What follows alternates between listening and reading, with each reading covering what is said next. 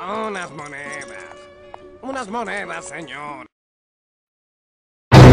Resident Evil. Stars.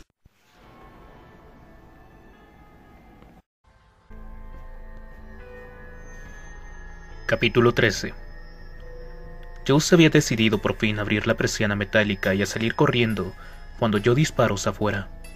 El tableteo agudo de las ráfagas de un rifle de asalto. Decir que se sintió aliviada sería quedarse corta. El golpeteo incesante de los zombies contra la puerta la había estado atacando los nervios y casi se había sentido tentada de pegarse un tiro para no tener que seguir oyéndolo. En cuestión de segundos, todo quedó en silencio. Se acercó con rapidez a la puerta lateral del garage, agachándose para pasar por debajo de un coche rojo levantado sobre un elevador neumático, y pegó la oreja al metal frío. Todo estaba en silencio. Los infectados estarían muertos casi con toda seguridad. Se oyeron un par de disparos. Jill dio un salto hacia atrás cuando alguien golpeó la puerta y el corazón le latió al mismo tiempo que los golpes. Oye, ¿hay alguien ahí? Los zombies están muertos. Puedes abrir la puerta. El acento era inconfundible. Se trataba de Carlos Oliveira. Jill, aliviada de nuevo, abrió el cerrojo y dijo quién era antes de abrir la puerta. Carlos, soy Jill. Ella se alegró de verlo, pero la expresión del rostro de Carlos era de tal felicidad que casi se sintió invadido por la timidez. Dio un paso atrás para que él pudiera entrar. Me alegro tanto de ver que estás bien. Cuando no te vi en el tranvía pensé que... Carlos se calló, aunque era obvio lo que había pensado. Bueno, me alegro mucho de verte otra vez. Su aparente preocupación por ella fue toda una sorpresa para Jill, y no estaba muy segura de cómo responder a aquello. Debía sentirse irritada porque la tratase de un modo protector. No se sentía irritada. Que alguien se preocupara por su bienestar, sobre todo si se tenía en cuenta la situación caótica en que se encontraban inmersos, era, bueno, era agradable. Y el hecho de que sea alguien alto, moreno y atractivo no está mal tampoco, ¿verdad? Jill reprimió aquella idea de forma inmediata. Fuese cierto o no, se encontraba en unas circunstancias de lucha por la supervivencia. Ya intercambiarían miradas e interés en otro momento, si salían con vida de allí. Carlos no pareció darse cuenta de su leve incomodidad. Bueno, ¿qué hacemos aquí? Jill le sonrió a medias. Me desvié. Supongo que no habrás visto al monstruo de Frankenstein por ahí afuera, ¿verdad? Carlos frunció el entrecejo. ¿Viste esa cosa otra vez? No es un hombre, es un monstruo. Lo llaman Tyrant. Si es lo que creo que es, bueno, o alguna clase de variante. Es una criatura biosintética con una fuerza tremenda y muy difícil de matar. Al parecer Umbrella ha descubierto cómo programar su comportamiento para que realice una tarea específica. En este caso, matarme. Carlos la miró con expresión de escepticismo. ¿Por qué tú? Es bastante largo de contar. La respuesta más corta es porque sé demasiado. Bueno, el caso es que me estaba escondiendo aquí, pero... Carlos terminó la frase por ella. Una panda de zombies apareció en la puerta y te puso difícil el marcharte, ¿verdad? Ya veo. Jill asintió. ¿Y tú qué? Me dijiste que ibas hacia el tranvía. ¿Qué estás haciendo aquí? Me encontré con otros dos miembros del VCS. A uno de ellos le habían pegado un tiro. Todavía está vivo y al menos no está empeorando. Ese es Mikhail. El otro, Nikolai, pensó que quizás sabía dónde podría conseguir explosivos, así que Mikhail y yo nos fuimos al tranvía para esperarlo. Al parecer hay, bueno, hay preparado un plan de evacuación si logramos llegar hasta la torre del reloj y hacemos repicar las campanas. Conseguimos que suenen y llegan los helicópteros. Carlos se dio cuenta de la expresión de la cara de Jill y se encogió de hombros con una sonrisa. Sí, lo sé. Me han dicho que existe una especie de señal por ordenador, pero no sé cómo funciona. Buenas noticias. Solo que para que el tranvía funcione nos hace falta un par de cosas. Un cable eléctrico y uno o dos fusibles antiguos. Mikhail me dijo que había una tienda de piezas de repuesto por aquí. Es uno de los jefes de pelotón. y se estudió a fondo los mapas antes de que llegáramos aquí. Carlos se quedó callado un momento y luego asintió, como si hubiera resuelto alguna especie de enigma. Nikolai también tiene que haber estudiado los mapas, por eso no le hizo falta que le dijéramos dónde estaba. Carlos, Mikhail, Nikolai. Umbrella no discrimina con respecto a las nacionalidades por lo que veo.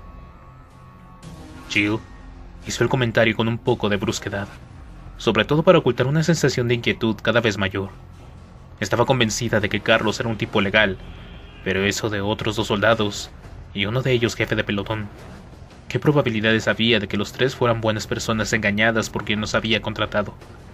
Umbrella era el enemigo, y no podía perder eso de vista. Carlos ya se estaba alejando en dirección al coche rojo en proceso de reparación. Si le estaban realizando alguna comprobación eléctrica, tendría que haber... Ahí está. Eso es lo que busco. Al parecer Carlos había visto el tipo de cable que necesitaba entre la maraña de alambres y tubos que salían por debajo del capo del coche. Algunos de ellos estaban conectados a aparatos que Jill no conocía, y otros tan solo estaban estirados, y bueno, tirados en el suelo del cemento lleno de restos de aceite y grasa para coches. Ten cuidado, dijo Jill acercándose hasta hasta Carlos mientras él alargaba la mano y recogía uno de los cables de color verde oscuro. Jill sentía una desconfianza instintiva hacia toda clase de material relacionado con la electricidad y creía que la gente que se dedicaba a trastear con cables estaba pidiendo a gritos acabar electrocutada. No te preocupes, dijo Carlos con tranquilidad. Solo un tono de verdad se dejaría alguno de estos conectados a... ¡Ah! Un chispazo blanco anaranjado saltó de uno de los cables tirados por el suelo. Restalló con el sonido y el resplandor de un disparo. Antes de que Jill pudiera soltar un grito, el suelo estalló en llamas. No hubo una llamarada que recogiera el lugar. Ni una. Una sensación de que fuera el fuego a más. De repente, en un instante todo el lugar quedó cubierto de llamas de casi un metro de altura que seguían creciendo. Por aquí, gritó Jill y echó a correr hacia la puerta que llevaba a la oficina mientras el incendio provocado por el aceite le azotaba la piel desnuda. Cuando esto llegue al depósito de gasolina del coche, todo va a estallar. Tenemos que salir de aquí. Carlos corría justo detrás de ella y a Jill se le heló la sangre en cuanto entraron a la oficina. A la mierda el coche. Lo del coche no iba a ser nada comparado con lo que sucedería cuando las llamas llegasen a los tanques de combustible situados debajo de los surtidores de la gasolinera. Al lado de la persiana metálica que protegía la puerta delantera colgaba una cadena que, bueno, era de polea. Jill se abalanzó hacia ella, pero Carlos fue más rápido. Agarró la cadena y tiró de ella con todas sus fuerzas, una mano tras otra. La persiana fue subiendo poco a poco a pesar del frenético tintineo de los eslabones metálicos. Tírate al suelo y sal al rastras, le dijo Carlos alzando la voz para que lo huyera por encima del fuerte ruido provocado por la cadena y al resallido de las llamas que empezaban a entrar a la oficina. Carlos, los surtidores ahí afuera. Lo sé, lo sé, sal de aquí. El borde inferior de la persiana ya estaba un poco menos de medio metro del suelo. Así que Jill se dejó caer y se pegó al suelo todavía frío. Déjalo, ya es suficiente, gritó antes de salir arrastrándose. Un momento después, ya estaba fuera y se levantaba a trompicones. Se dio la vuelta y alargó una mano hacia Carlos para tirar de él. Algo explotó dentro del garage con un estallido sordo. Puede que sea una lata de gasolina o aquel armario lleno de aceite de maquinaria. Dios, deben haberme echado una maldición. Siempre hay algo estallando a mi alrededor. Carlos la agarró del brazo sacándola de su inmovilidad. ¡Vámonos! No hizo falta que se lo dijera dos veces. Echó a correr con Carlos a su lado mientras la luz, cada vez más fuerte que salía por las ventanas de la tienda de piezas de repuesto, iluminaba con una extraña coloración anaranjada los cadáveres de al menos ocho infectados. La situación no era buena. La calle estaba testada y casi cortada, y no se veía ningún camino libre para escapar a tiempo. Jill sentía los segundos pasar volando mientras se esforzaban por atravesar el laberinto de metal destrozado y de cristales rotos. La primera explosión de verdad y el estampido de las ventanas al saltar de hecha Nikos sonó demasiado cerca. Todavía no se habían alejado lo suficiente, pero lo único que podían hacer era lo que precisamente estaban haciendo. aparte de rezar para que el fuego no alcanzara los depósitos de combustible subterráneos. De algún modo, ni lo oyó, o más bien, oyó una ausencia repentina y total de cualquier sonido. Quizá estaba demasiado concentrada en sortear aquel tráfico silencioso e inmóvil en mitad de la oscuridad, en el palpitar de la sangre que le resonaba en los oídos, en el tiempo que pasaba. Lo único que supo fue que estaba corriendo y que al instante siguiente una onda expansiva gigantesca la levantó desde atrás y la lanzó hacia arriba y hacia donde al mismo tiempo estaba una pared. El lateral arrancado de un camión pasó a toda velocidad a su lado mientras Carlos gritaba algo, y un instante después no había nada más que oscuridad. Nada más que el sol lejano que se solapaba con los bordes de esa oscuridad y que le enviaba un sueño. Bueno, más bien una pesadilla, con unos tremendos rayos de luz hiriente. Mikhail se moría, hundiéndose en un delirio febril que sin duda terminaría acabando con él. Lo único que Nikolai había conseguido saber gracias al moribundo era que Carlos había ido en busca de piezas para reparar el tranvía y que regresaría muy pronto. Nikolai tendría que esperar a que la fiebre de Mikhail remitiese o a que Carlos regresase si había algo más que debía saber. Y ninguna de las dos posibilidades parecía probable. Sin duda, el estado de Mikhail empeoraría, y tanto la fuerte explosión que había estremecido hasta el tranvía como el resplandor del cielo con el que había coincidido sugerirían que se había producido un incendio en la gasolinería. No era seguro que Carlos fuese, bueno, o tuviera culpa de aquello, pero Nicolai sospechaba que lo más probable era que así fuera, y que Carlos Oliveira había acabado convertido en un trozo de carne chamuscada. Lo que significa que seré yo quien tendrá que encontrar en persona un cable eléctrico si quiero ir hasta el hospital montado en este carro. Era algo irritante pero no se podía evitar. Nicola había encontrado una caja de fusibles de repuesto en la estación y también un bidón de casi 20 litros de mezcla de aceite en las proporciones adecuadas para poner en marcha el tranvía y llevarlo hasta el hospital, pero no disponía de conexión eléctrica ni de cables de ninguna clase para hacer un puente de los circuitos dañados. Nikolai se preguntó por qué Carlos no se le había ocurrido entrar en el almacén de mantenimiento de la estación, y decidió que lo más probable era que debiera faltar, bueno, un poco en aquella cabeza, sin mucha imaginación. No, no, no puedo. Fuego, fuego a discreción. Creo que... creo que... Nikolai sintió curiosidad y apartó la vista de la inspección del panel de control que estaba efectuando, pero fuese lo que fuese lo que Mikael estaba pensando, se perdió cuando cayó de nuevo en su sueño intranquilo. El viejo banco no dejó de crujir bajo sus movimientos incesantes. A Nikolai le pareció patético, al menos podría haber balbuceado algo interesante. Nikolai se puso en pie y se desesperó antes de girarse hacia la puerta. Ya había añadido la mezcla del aceite al rendimiento, bueno, del sistema de depósito del motor, pero había encontrado los fusibles equivocados. Tendría que conseguir otro de regreso a la ciudad, y lo más probable era que tuviera que volver al puñetero aparcamiento hasta donde había seguido a Mikael. Recordó que había algunas estanterías con piezas de maquinaria en aquel lugar. Todo aquel Ir para arriba y para abajo empezaba a cansarlo, pero al menos la mayor parte de los caníbales de la zona ya estaban liquidados del todo. Así que no tardaría demasiado y cuando regresase podría recompensarse a sí mismo por todos aquellos esfuerzos. Le diría a Mikael, quien era el responsable de su muerte cada vez más cercana. Salió al andén del tranvía y estaba pensando dónde dormiría aquella noche cuando divisó un par de siluetas que se dirigían tambaleantes hacia el vagón. Sus formas quedaban ocultas a medias a pesar de la luz que les daba procedentes de una pequeña hoguera situada a la esquina noreste del andén. Nikolai se dio cuenta cuando se acercaron más de que, después de todo, Carlos había logrado escapar de la muerte y de que traía con él a una mujer, sin duda la misma que le había hablado del tranvía. Ambos estaban chamuscados, con la piel enrojecida y llena de cenizas. Por lo visto, no estuvo muy desencaminado cuando pensó quién había iniciado el juego. Y una vez más, comienza el juego. Carlos, ¿estás cerrito? Alguno de los dos lo está. Avanzó unos pasos para que pudiera verlo con claridad y se fijara en la expresión de preocupación de su rostro. Fue obvio que Carlos se alegraba de verlo. No. Estoy... Los dos estamos bien, solo un poco mayugados. La gasolinera se incendió y estalló. Jill perdió el conocimiento durante un minuto o dos, pero está...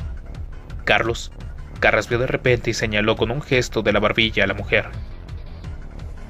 Esto... Eh, Jill Valentine, este es el sargento Nikolai Yonovav, del VCS. Por favor, llámame Nikolai, dijo él. Pero Jill tan solo se le quedó mirando con una expresión indescifrable en la cara. Al parecer, la señorita Valentine no estaba interesada en hacer nuevos amigos. Eso le gustaba, aunque no sabía con exactitud el motivo. Llevaba un revólver 357 en la mano y lo que parecía una 9 milímetros metida en la cintura de una falda bastante, bastante ajustada. Estamos en deuda con usted por contarle a Carlos la existencia del tranvía. ¿Es de la policía? preguntó Nikolai. Jill siguió mirándolo fijamente y a ninguno de cupo duda alguna de la belicosidad de tono de su respuesta. Todos los policías están muertos. Soy miembro de los Stars, de la Escuadra de Tácticas Especiales y Rescate. Vaya, vaya. Sí que es irónico. Me pregunto si se habrá encontrado ya con la sorpresita que le tiene preparado Umbrella. Si lo hubiera hecho, lo más probable era que no estuviera delante de él en ese momento, a menos que estuviese herido. Un Tyrant normal podía partir por la mitad a un ser humano sin siquiera ejercer una cuarta parte de su fuerza total. Alguien como Jill Valentine no tenía ninguna oportunidad frente a algo mucho más avanzado. El nuevo juguete de Umbrella había planeado hacer su aparición. Nikolai estaba encantado con aquella coincidencia tan extraña. Encontrarse con un miembro de los Stars le hacía sentir que todo estaba en orden, que los pensamientos que tenía en la cabeza se reflejaban en el mundo que lo rodeaba. ¿Cómo está Mikael? Nikolai Apartó la vista de la mirada fija de Jill para contestarle a Carlos y para no parecer demasiado beligerante. Me temo que no está demasiado bien. Deberíamos irnos en cuanto podamos. ¿Has encontrado algo útil? Mikhail, me ha dicho que ibas a pasarte por la tienda de piezas de repuesto. Todo ha desaparecido. Todo está quemado. Supongo que tendremos que... ¿Conseguiste los explosivos? lo interrumpió Jill, que no había dejado de mirar con fijeza a Nikolai. ¿Dónde están? No fue una pregunta hostil, al menos no de forma abierta, pero casi. Tampoco es que fuera sorprendente dada la situación. Lo último que sabía de los Stars era que habían descubierto información sobre la verdadera naturaleza de las investigaciones llevadas a cabo por Umbrella en la mansión Spencer. Por supuesto, habían quedado desacreditados más adelante, pero Umbrella llevaba intentando librarse de ellos desde entonces. Si todos son tan suspicaces como esta, no me extraña que Umbrella no haya tenido éxito. No encontré explosivos porque no lo sabía, contestó él con lentitud, y después decidió apretar un poco más para ver lo directa y franca que podría llegar a ser. Lo único que encontré fueron cajas vacías, señorita Valentine. ¿Hay algo que le preocupe? Parece tensa. Nicolai dirigió una rápida mirada a Carlos de forma deliberada, como si estuviera furioso por haber traído a aquella mujer desconfiada. Carlos se ruborizó y empezó a hablar con excesiva rapidez y de manera atropellada para desviar la conversación. Creo que todos estamos un poco tensos, pero lo más probable ahora es que Mikael... Bueno, eh, tenemos que sacarlo de aquí. Nikolai se quedó mirando fijamente a Jill un momento más antes de sentir y apartar la vista para centrar su atención en Carlos. De acuerdo. Si tú te encargas de conseguir el cable, yo veré qué puedo hacer con lo del fusible. Hay una central de eléctrica no muy lejos de aquí. Echaré un vistazo. Estoy seguro de que vi cables de batería en el garage, donde encontramos a Mikael. Nos veremos aquí dentro de media hora sin importar si encontramos o no todo eso. Carlos y Jill sintieron. Bien. Le echaré un vistazo a Mikael antes de irme. En marcha. Se dirigió hacia el tranvía como si todo estuviera ya en orden, y se felicitó a sí mismo en silencio mientras subía al vagón. Irían a buscar el cable por orden suya, mientras que él tan solo solo tendría que buscar, bueno, caminar también una docena de pasos para llegar a la estación del tranvía y rebuscar en una caja. Eso significa que dispongo de mucho tiempo de sobra. Me pregunto de qué hablarán cuando yo no esté cerca de ellos. Quizá podría preparar un encuentro con ellos mientras regresaban, y los vigilaría durante unos minutos antes de revelar su presencia. Nikolai se acercó hasta donde estaba Mikhail, el durmiente, y le sonrió, muy satisfecho de sí mismo. Por fin la situación se estaba poniendo interesante. Carlos hacía lo que le ordenaba. Mikhail estaba en las puertas de la muerte y además la mujer de los Stars había aparecido para complicar todo el asunto. Por así decirlo. Miró por la ventana del tranvía y no los vio. Ya habían desaparecido en oscuridad. Jill Valentine sospechaba de él, pero solo por lo que sabía de Umbrella. Nikolai estaba seguro de que si disponía del tiempo suficiente, ella lo soltaría, confiaría en él y hasta le caería bien. Y si no lo hace, la mataré con los demás. Mikhail dejó escapar un gemido de inquietud, pero siguió durmiendo. Y Nikolai se marchó en silencio unos momentos después. Capítulo 14 Aunque lo más probable era que tuviera bastante sobre de qué hablar, ni a Jill ni a Carlos le apetecía de verdad. Tenía que conseguir un cable eléctrico de conexión, regresar al tranvía y no morir en el intento. No era precisamente el momento adecuado para dedicarse a charlar, aunque las calles parecieran despejadas. Después de la experiencia que habían compartido al huir de la carrera, bueno, de la gasolinería, Carlos no se imaginaba a ambos charlando como si tal cosa no hubiera pasado. De todas maneras, ¿de qué íbamos a hablar? ¿Del tiempo? ¿De cuántos amigos suyos están muertos? ¿Sobre si ese bicho, T, Tyrant o lo que sea, se va a aparecer o, o no de repente para matarle en cualquier momento? ¿O sobre las 10 razones por las que no le gusta a Nikolai? Era obvio que Jill no se sentía tranquila con Nikolai, y eso se debía casi con toda seguridad a los sentimientos que albergaba por Umbrella. Carlos creía que a Nikolai tampoco le gustaba a ella, aunque no comprendía del todo el motivo. El jefe de escuadra se había comportado de un modo muy correcto con ella, aunque un poco enérgico. A Carlos le gustaba que Jill no se comportara así con él, de forma suspicaz y agresiva, pero la animadversión mutua entre ella y Nikolai lo había puesto un poco nervioso. Por muy típico que pudiera sonar, debían mantenerse unidos si querían sobrevivir. En cualquier caso, Jill no parecía dispuesta a dar el primer paso para hablar sobre ello. Carlos estaba demasiado ocupado discutiendo consigo mismo si les hablaba o no a los demás sobre Trent, y ambos estaban cubriéndose las espaldas el uno del otro. Caminaron en silencio desde el tranvía en dirección al centro de la ciudad, y ya casi habían llegado al garage cuando Carlos vio a alguien a quien reconoció. El muerto estaba recostado contra la esquina de un callejón serpenteante, no muy lejos de los cadáveres grotescos de dos criaturas de Umbrella que Carlos ya había visto con un par de veces al pasar por allí en las dos horas anteriores parecidas al monstruo que había matado cerca del restaurante. Por el aspecto que tenía el cadáver, llevaba allí algún tiempo, lo que significaba que Carlos también había pasado a su lado sin percatarse de su presencia. Era bastante inquietante darse cuenta de que ya miraba a las caras de los muertos, pero estaba demasiado sorprendido para saber y hacer caso durante mucho tiempo a ese sentimiento. Yo conozco a ese tipo, dijo mientras aconclillaba a su lado e intentaba recordar su nombre. ¿Genesee? No, Hennings. Ese era su nombre. Alto cabello negro, una leve cicatriz que le recorría desde la comisura de los labios hasta la barbilla. Tenía una sonrisa, bueno, un poco tétrica, y una sola herida de bala en la cabeza, y no presentaba signos evidentes de descomposición. ¿Quién carajo estaba haciendo aquí? Jill caminaba un poco por delante de Carlos cuando éste se agachó. Se dio la vuelta y se acercó hasta él mientras echaba un vistazo a escondidas de su reloj. Siento lo de tu amigo, Carlos. Pero tenemos que seguir de verdad, dijo con voz amable. Carlos negó con la cabeza al mismo tiempo que palpaba las ropas del muerto en busca de munición o de alguna clase de identificación. No, no éramos amigos. Lo conocí en la oficina de campaña justo después de que me contrataran.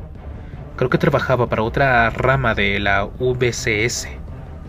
Este tipo era una especie de agente secreto, un antiguo militar y desde luego no vino a Raccoon City con nosotros. ¿Qué es esto? Carlos sacó de la chaqueta de Hennings una agenda pequeña con tapas de cuero del tamaño de un libro de bolsillo. Se trataba de un diario.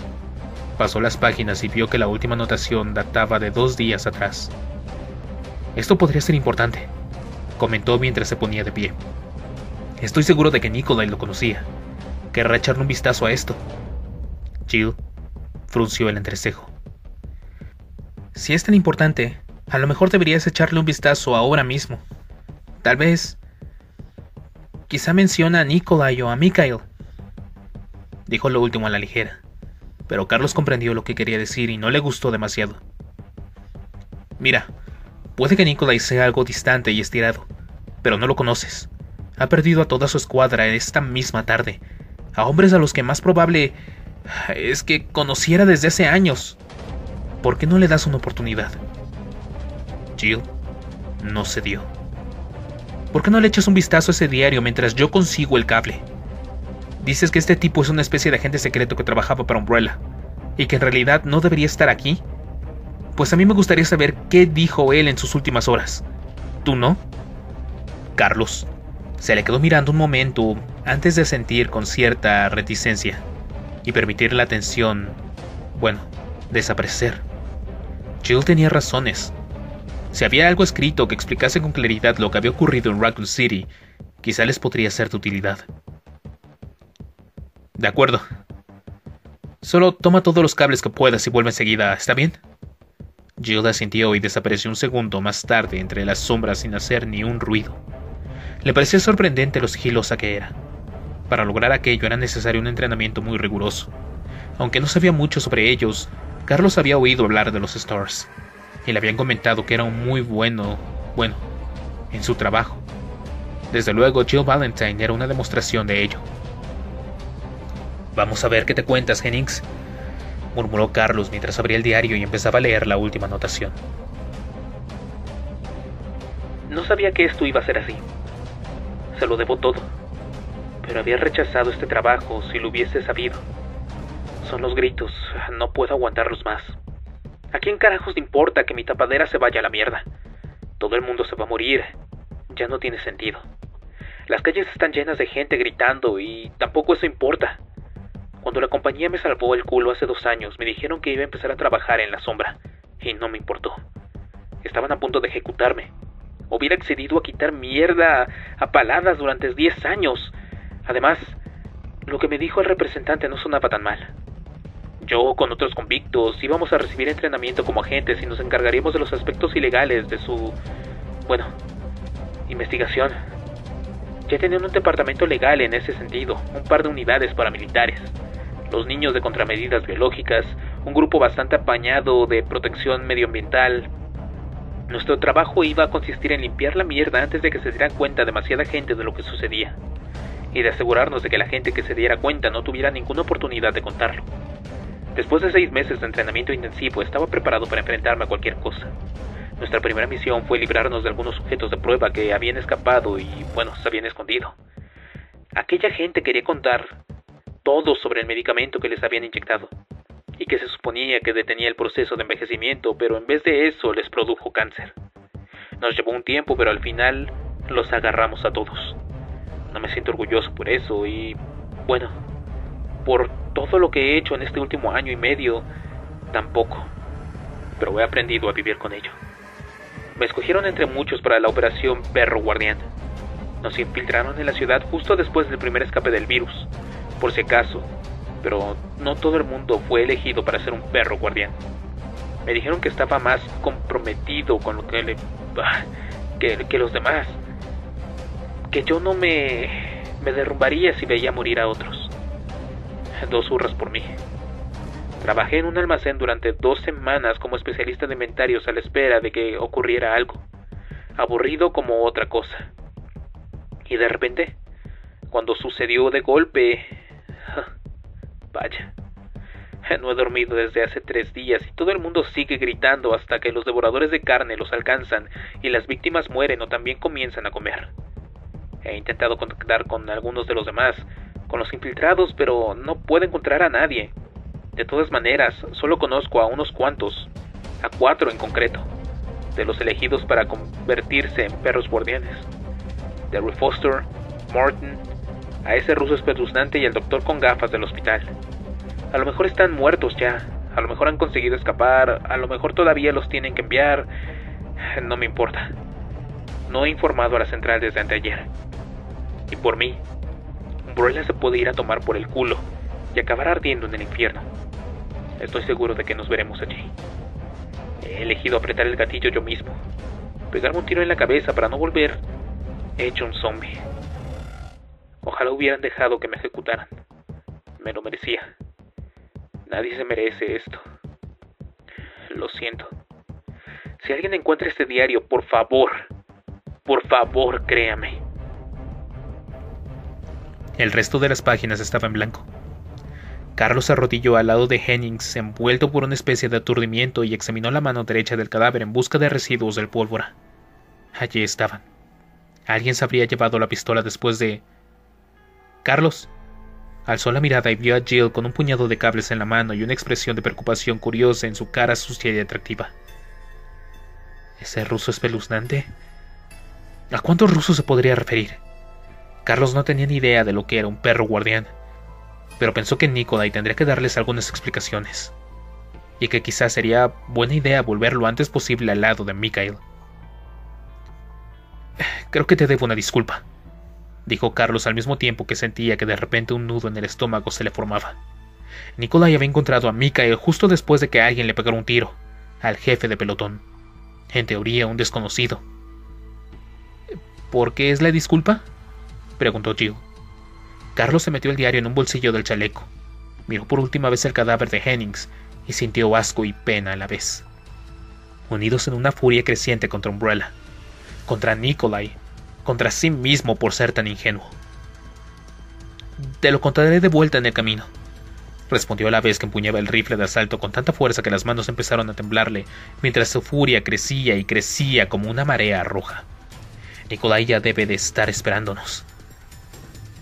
Nikolai colocó un fusible nuevo en el panel de control del tranvía y después decidió esperar dentro de la estación a que Carlos y Jill regresaran.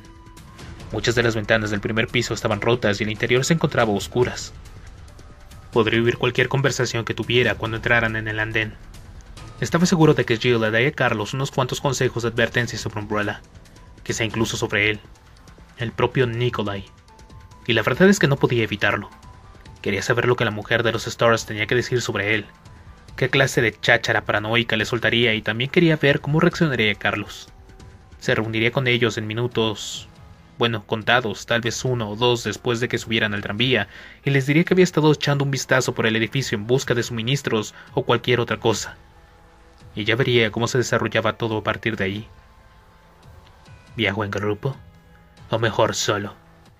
Quizá convendría que permaneciéramos juntos esta noche, para buscar comida y hacer turnos de guardia. Podría matarlos mientras duermen. Podría engañarlos para que me acompañaran al hospital y hacer que se enfrentaran a los cazadores a los Hunters. Podría desaparecer y dejar que se marcharan pensando que su querido amigo había muerto. Nikolai sonrió. Una leve y fría brisa nocturna entró por una de las ventanas rotas con los cristales destrozados y le acarició el rostro. Lo cierto era que las vidas de los tres estaban en sus manos. Era una sensación de poder muy fuerte, algo casi embragador. Estaba, bueno, por disponer de aquella clase de control. Lo que en un principio no había sido más que una misión por dinero había evolucionado hasta convertirse en algo nuevo, algo distinto por por completo, algo para lo que no tenía palabras. Era un juego, pero también era algo mucho más que eso. Una comprensión del destino humano como jamás había experimentado. Nikolai ya sabía que él era muy diferente, que no percibía las reglas y límites de la sociedad igual que los demás. Su llegada a Raccoon City se había convertido en una amplificación de aquello, en una realidad alternativa en la que ellos eran los extraños, los ajenos a la situación, y él era el único que conocía lo que estaba pasando en realidad. Por primera vez en su vida se sintió libre por completo para hacer lo que quería. Oyó chirriar la puerta del callejón que llevaba al andén. Lo hizo con lentitud, en un intento de sigilo. Nicolai se apartó de la ventana, un segundo después, los dos jóvenes se pusieron a la vista moviéndose de un modo casi tan silencioso como él. Se fijó algo sorprendido de que estaban inspeccionando la zona como si esperaran problemas de alguna clase. Tal vez se han encorrotado con la criatura, el Tyrant. Si la criatura estaba siguiendo a Jill, eso sí que pondría interés a la situación. Aunque Nikolai tenía muy claro que se apartaría de su camino y que le permitiría matar a la chica si al final apareciera. El monstruo se encargaría a todo aquel lo bastante estúpido para interponerse en su camino. Nikolai no sentiría ningún remordimiento por echarse a un lado. Jill avanzaba por delante de Carlos, y cuando se acercaron un poco más con pasos precavidos y sigilosos, Nikolai pudo ver que ella se llevaba bastantes cables colgados del hombro. Quizá los debería dejar vivir un poco más después de todo. Estaban resultando ser unos ayudantes muy útiles. Todo despejado, susurró Carlos y Nikolai sonrió. Lo oía a la perfección. Ya tendría que haber regresado, si no se ha encontrado con esas criaturas, respondió Gio con otro susurro. La sonrisa de Nikolai titubeó por un momento. Parecía imposible, pero estaban peinando la zona por él. Propongo que nos acerquemos a él como si no supiésemos nada, dijo Carlos manteniendo la voz baja. Subimos, nos ponemos cada uno a un lado y le obligamos a que nos entregue el rifle. También lleva un cuchillo. ¿Qué pasa? ¿Qué cambió? ¿Qué es lo que saben? Jill asintió. Déjame a mí hacerle las preguntas. Conozco mejor Umbrella y creo que tengo más posibilidades de convencerlo de que sabemos todo sobre la operación Perro Guardián. Si cree que ya lo sabemos todo, no se preocupará por intentar ocultar nada. Carlos acabó la frase. Ok. Bien, hagámoslo. Mantén tu arma preparada por si acaso nos tiene reservada alguna sorpresita. Jill asintió de nuevo y ambos se enderezaron. Carlos incluso se echó el rifle al hombro. Se pusieron en marcha hacia el tranvía sin preocupación de que los oyeran. La furia que se apoderó de Nikolai fue tan feroz, tan intensa y tan ilimitada que por un momento se vio cegado por ella de un modo literal. Unos destellos púrpuras alteraron todo, todo en su campo de visión. Momentos de negrura le azotaron el cerebro, de forma enloquecida y violenta, y lo único que impidió que se lanzara a la carrera hacia el andén para acribillarlos a los dos fue el conocimiento remoto de que estaban preparados para repeler su ataque. Casi lo hizo. De todas maneras, el impulso, la necesidad de hacerles daño era tan fuerte que las consecuencias le parecían poco importantes. Le hizo falta recurrir a todo su autocontrol para quedarse quieto, para ponerse en pie, estremecerse y no ponerse a gritar. Después de un lapso de tiempo indeterminado, Oyó el motor del tranvía ponerse en marcha y el sonido lo llevó de vuelta a la realidad. Su mente se puso a trabajar de nuevo, pero tan solo pudo concluir razonamientos sencillos, como si su rabia fuese demasiado intensa para permitir ideas de mayor complejidad. Sabían que no les habían dicho la verdad. Sabían algo sobre la operación Perro Guardián y sabían que estaban involucrados en ella. Por lo que había convertido, bueno, ambos en su enemigo. Ya no se produciría la consumación del trabajo cuidadosamente y concienzudo que se había diseñado. No se produciría un desarrollo del sentimiento de camaradería hacia él. Todo aquello había sido una pérdida de tiempo. Y para echarle sal a la herida, iba a tener que ir andando hasta el hospital. Nikolai apretó con fuerza todavía los dientes para ahogar el odio impotente que amenazaba con aplastarlo desde su interior, como un secreto infectado cómo se atrevían a robarle su sentido de autocontrol, como si tuvieran derecho a hacerlo. Mis planes, mi dinero, mi decisión, míos, no suyos, míos. Tras un momento, aquel mantra continuando comenzó a funcionar y lo calmó un poco. Las palabras lo tranquilizaban por la verdad que conllevaban. Eran suyos y de nadie más. Nicola inspiró profundamente varias veces y se concentró en lo único que le podría aliviar la rabia mientras oía el tranvía alejarse con lentitud. Encontraría un modo de que se las pagaran todas juntas. Los haría pedir misericordia y se reiría a carcajadas mientras gritaban de dolor.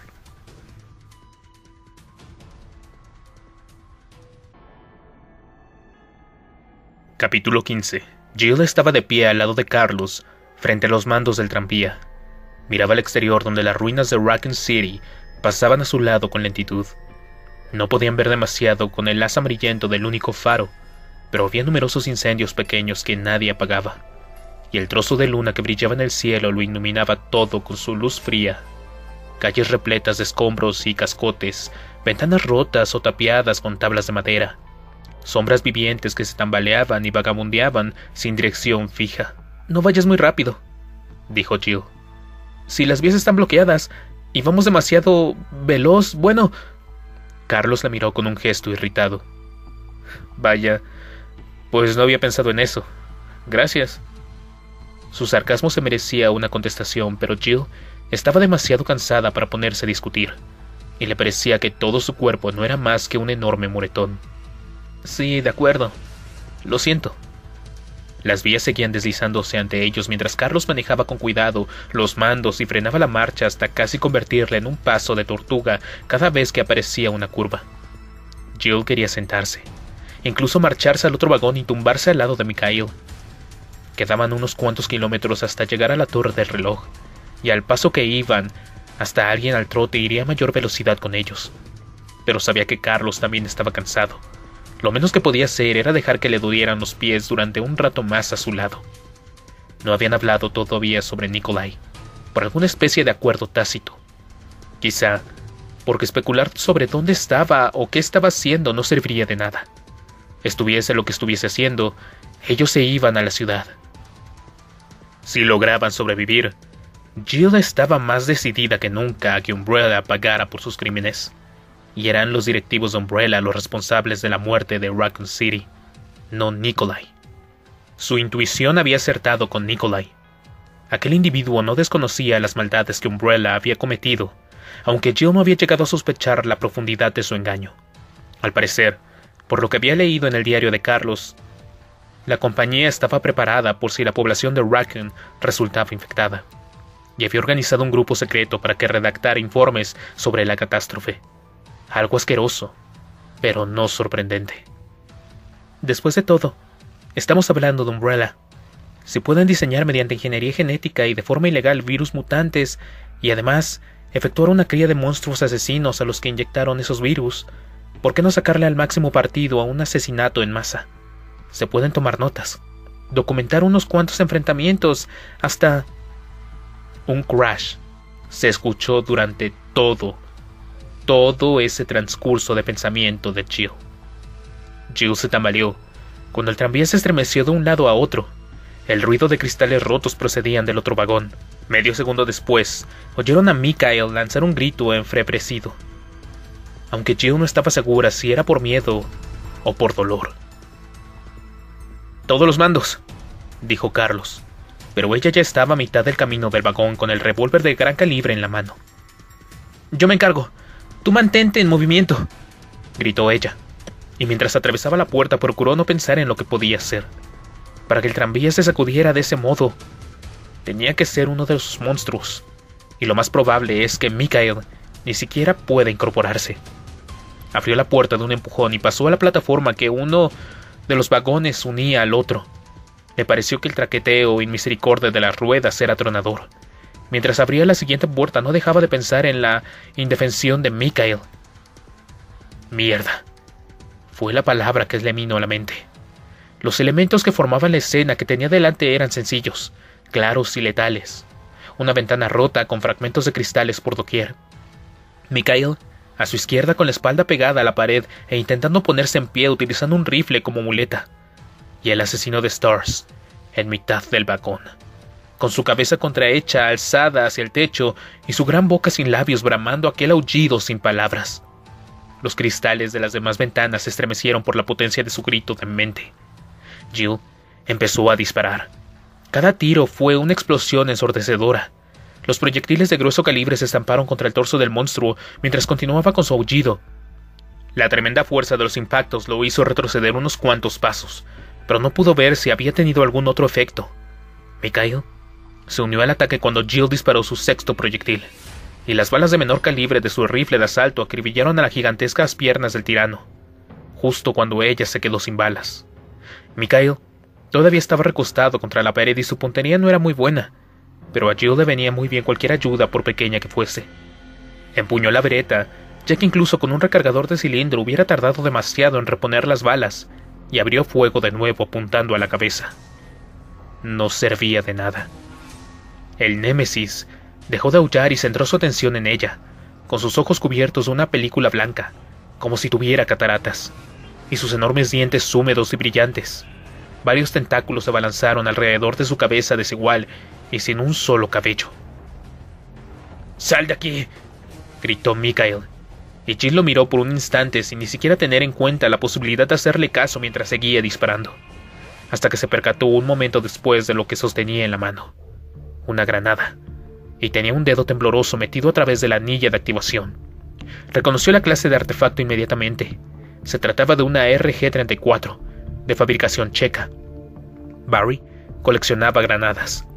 Disparó de nuevo y acertó justo en la frente llena de costrones del Némesis, sin el que el proyectil causara ningún efecto. Se trataba de una granada de impacto. En cuanto se quitaba la anilla, estallaba al entrar en contacto con el objetivo. Mikhail, no lo haría. Sería una... sería un suicidio. No, ponte detrás de mí, gritó Jill. Y el asesino de Stars dio un enorme paso hacia ella y casi redujo a la mitad la distancia que los separaba. ¡Que te marches! Le ordenó Mikael al tiempo que tiraba de la anilla. En su rostro blanco como el papel se podía ver una expresión de concentración y de decisión increíble. Yo ya estoy muerto. Ya vete. Jill disparó una vez más la vereta y se quedó sin balas. Se dio la vuelta y echó a correr, dejando a Mikael enfrentándose a solas con aquel monstruo. Carlos oyó los gritos en mitad del retumbar de los disparos mientras se esforzaba por detener el tranvía. Desesperado por ir en ayuda de Jill y de Mikael, pero se encontraban en mitad de una curva algo cerrada y los mandos, que sufrían una evidente falta de mantenimiento, se resistían a todos sus esfuerzos. Estaba a punto de dejarlo todo y reunirse con ellos de todas maneras, cuando la puerta a su espalda se abrió de golpe. Carlos se giró en redondo y empuñó el M16 apuntando con una sola mano mientras mantenía la otra de un modo instintivo sobre la palanca de mando. Pero vio que se trataba de Jill. Ella casi entró de un salto con el rostro convertido en una máscara de terror expectante y un nombre en sus labios. Una fortísima onda expansiva de fuego y sonido surgió a su espalda y la tiró al suelo, donde rodó con torpeza sobre un hombro mientras acababa de llegar al estallido del segundo coche. Unas llamaradas de fuego entraron por la ventanilla de la puerta trasera al mismo tiempo en que el suelo se estremecía arriba y abajo. Carlos se estampó contra el asiento del conductor el brazo de la silla lo golpeó en el muslo con la fuerza suficiente para que los ojos se le llenaran de lágrimas. ¡Mikael! Carlos dio un paso hacia la parte trasera del vagón, y lo único que vio de él fueron sus restos ardientes y destrozados cayéndose a pedazos poco a poco mientras el tranvía cogía velocidad. No existía ninguna posibilidad de que Mikael hubiera sobrevivido a aquello, y Carlos comenzó a tener dudas muy serias sobre sus propias habilidades. Jill se acercó a él tambaleándose, con el rostro todavía afectado por lo que fuese que hubiera visto. El tranvía entró en otra curva y quedó fuera de control en ese preciso instante, saltando de un lado a otro como si se tratase de un barco en mitad de una tormenta. Solo que los rayos y los truenos los provocaba el propio vagón al chocar contra los coches y los edificios y hacer saltar grandes chorros de chispas. En vez de frenar, parecía que el vagón tomaba impulso y velocidad con cada choque mientras atravesaba la oscuridad entre una serie de tremendos chirridos metálicos. Carlos intentó luchar contra la gravedad para agarrar la palanca de mando, consciente de que se había salido de las vías, de que Mikael estaba muerto, de que su única esperanza era el freno manual. Si tenían mucha suerte, las ruedas se bloquearían.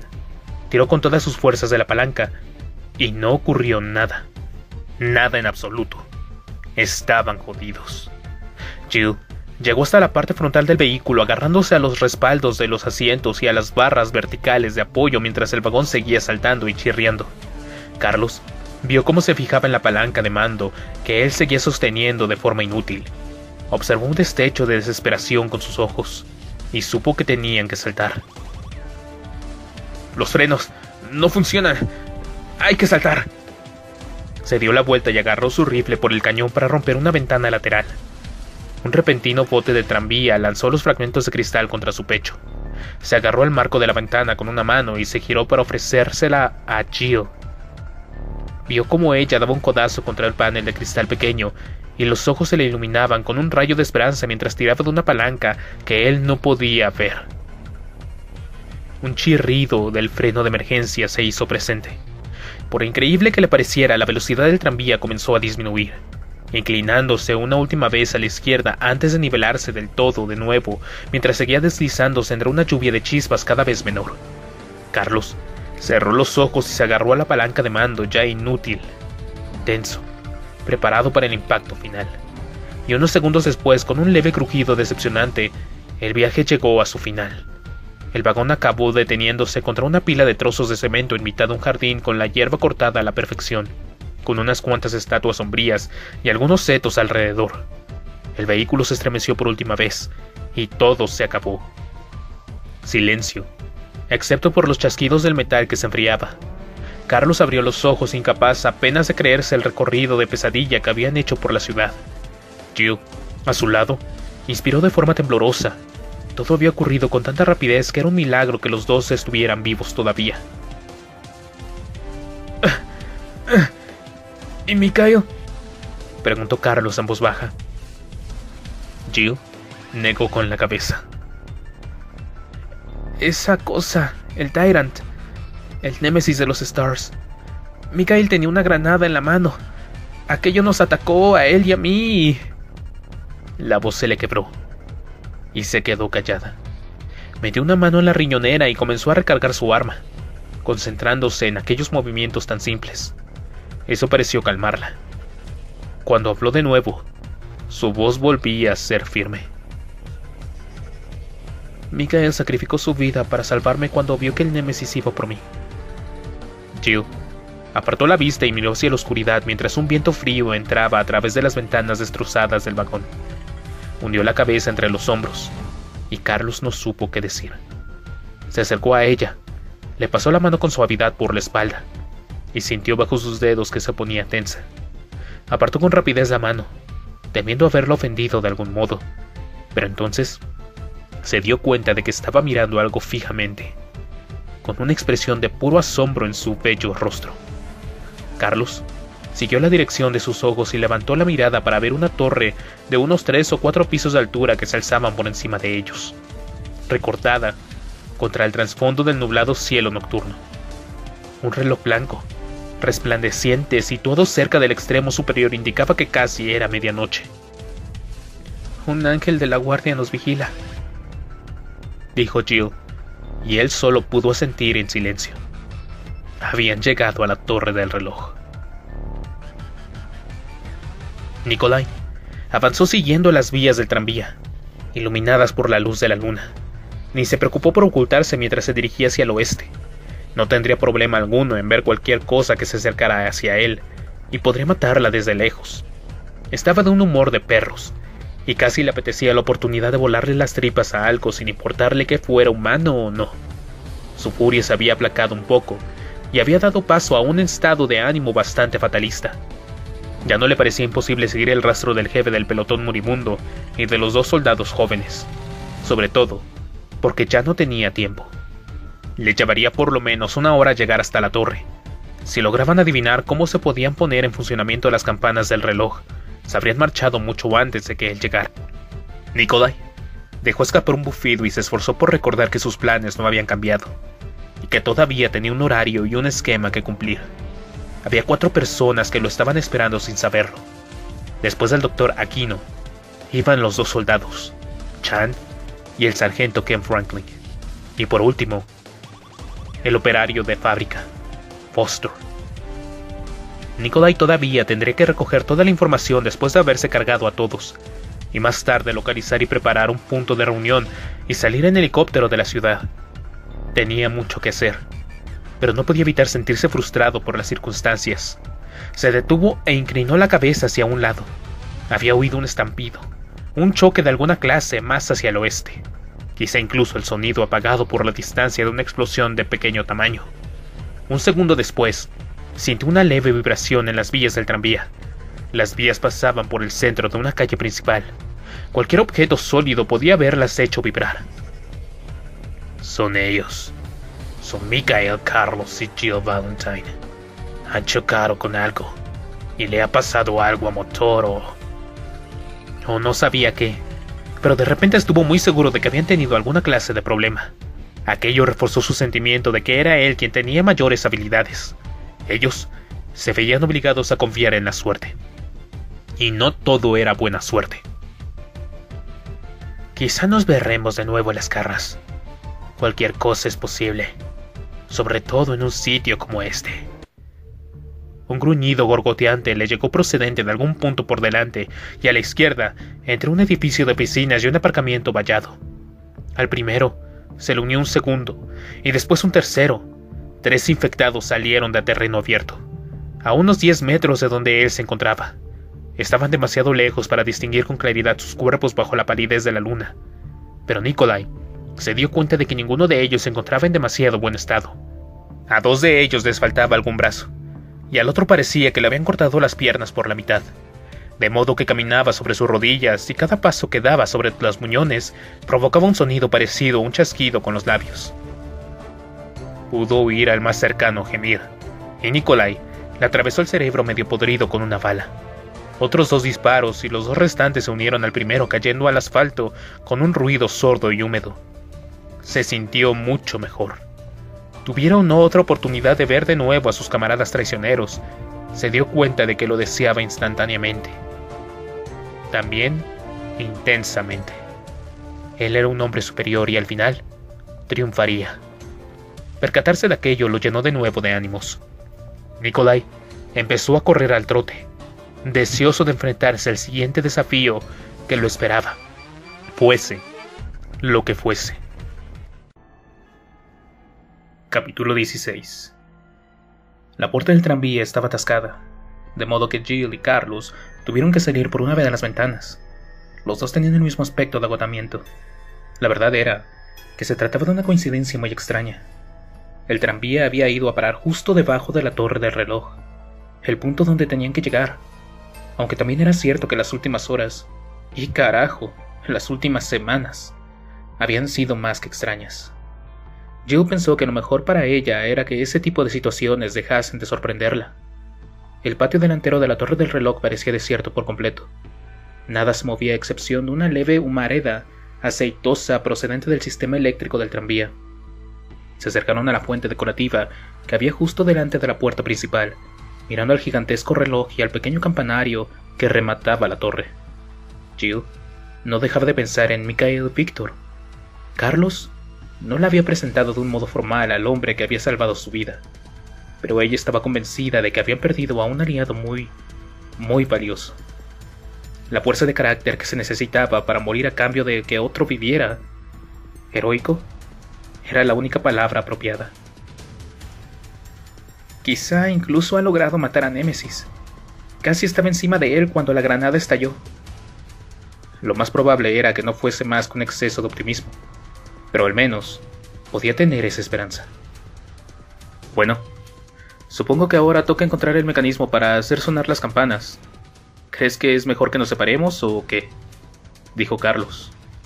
Sin embargo, un graznido de un cuervo lo interrumpió, y Jill sintió una nueva oleada de adrenalina, recorrerle las venas.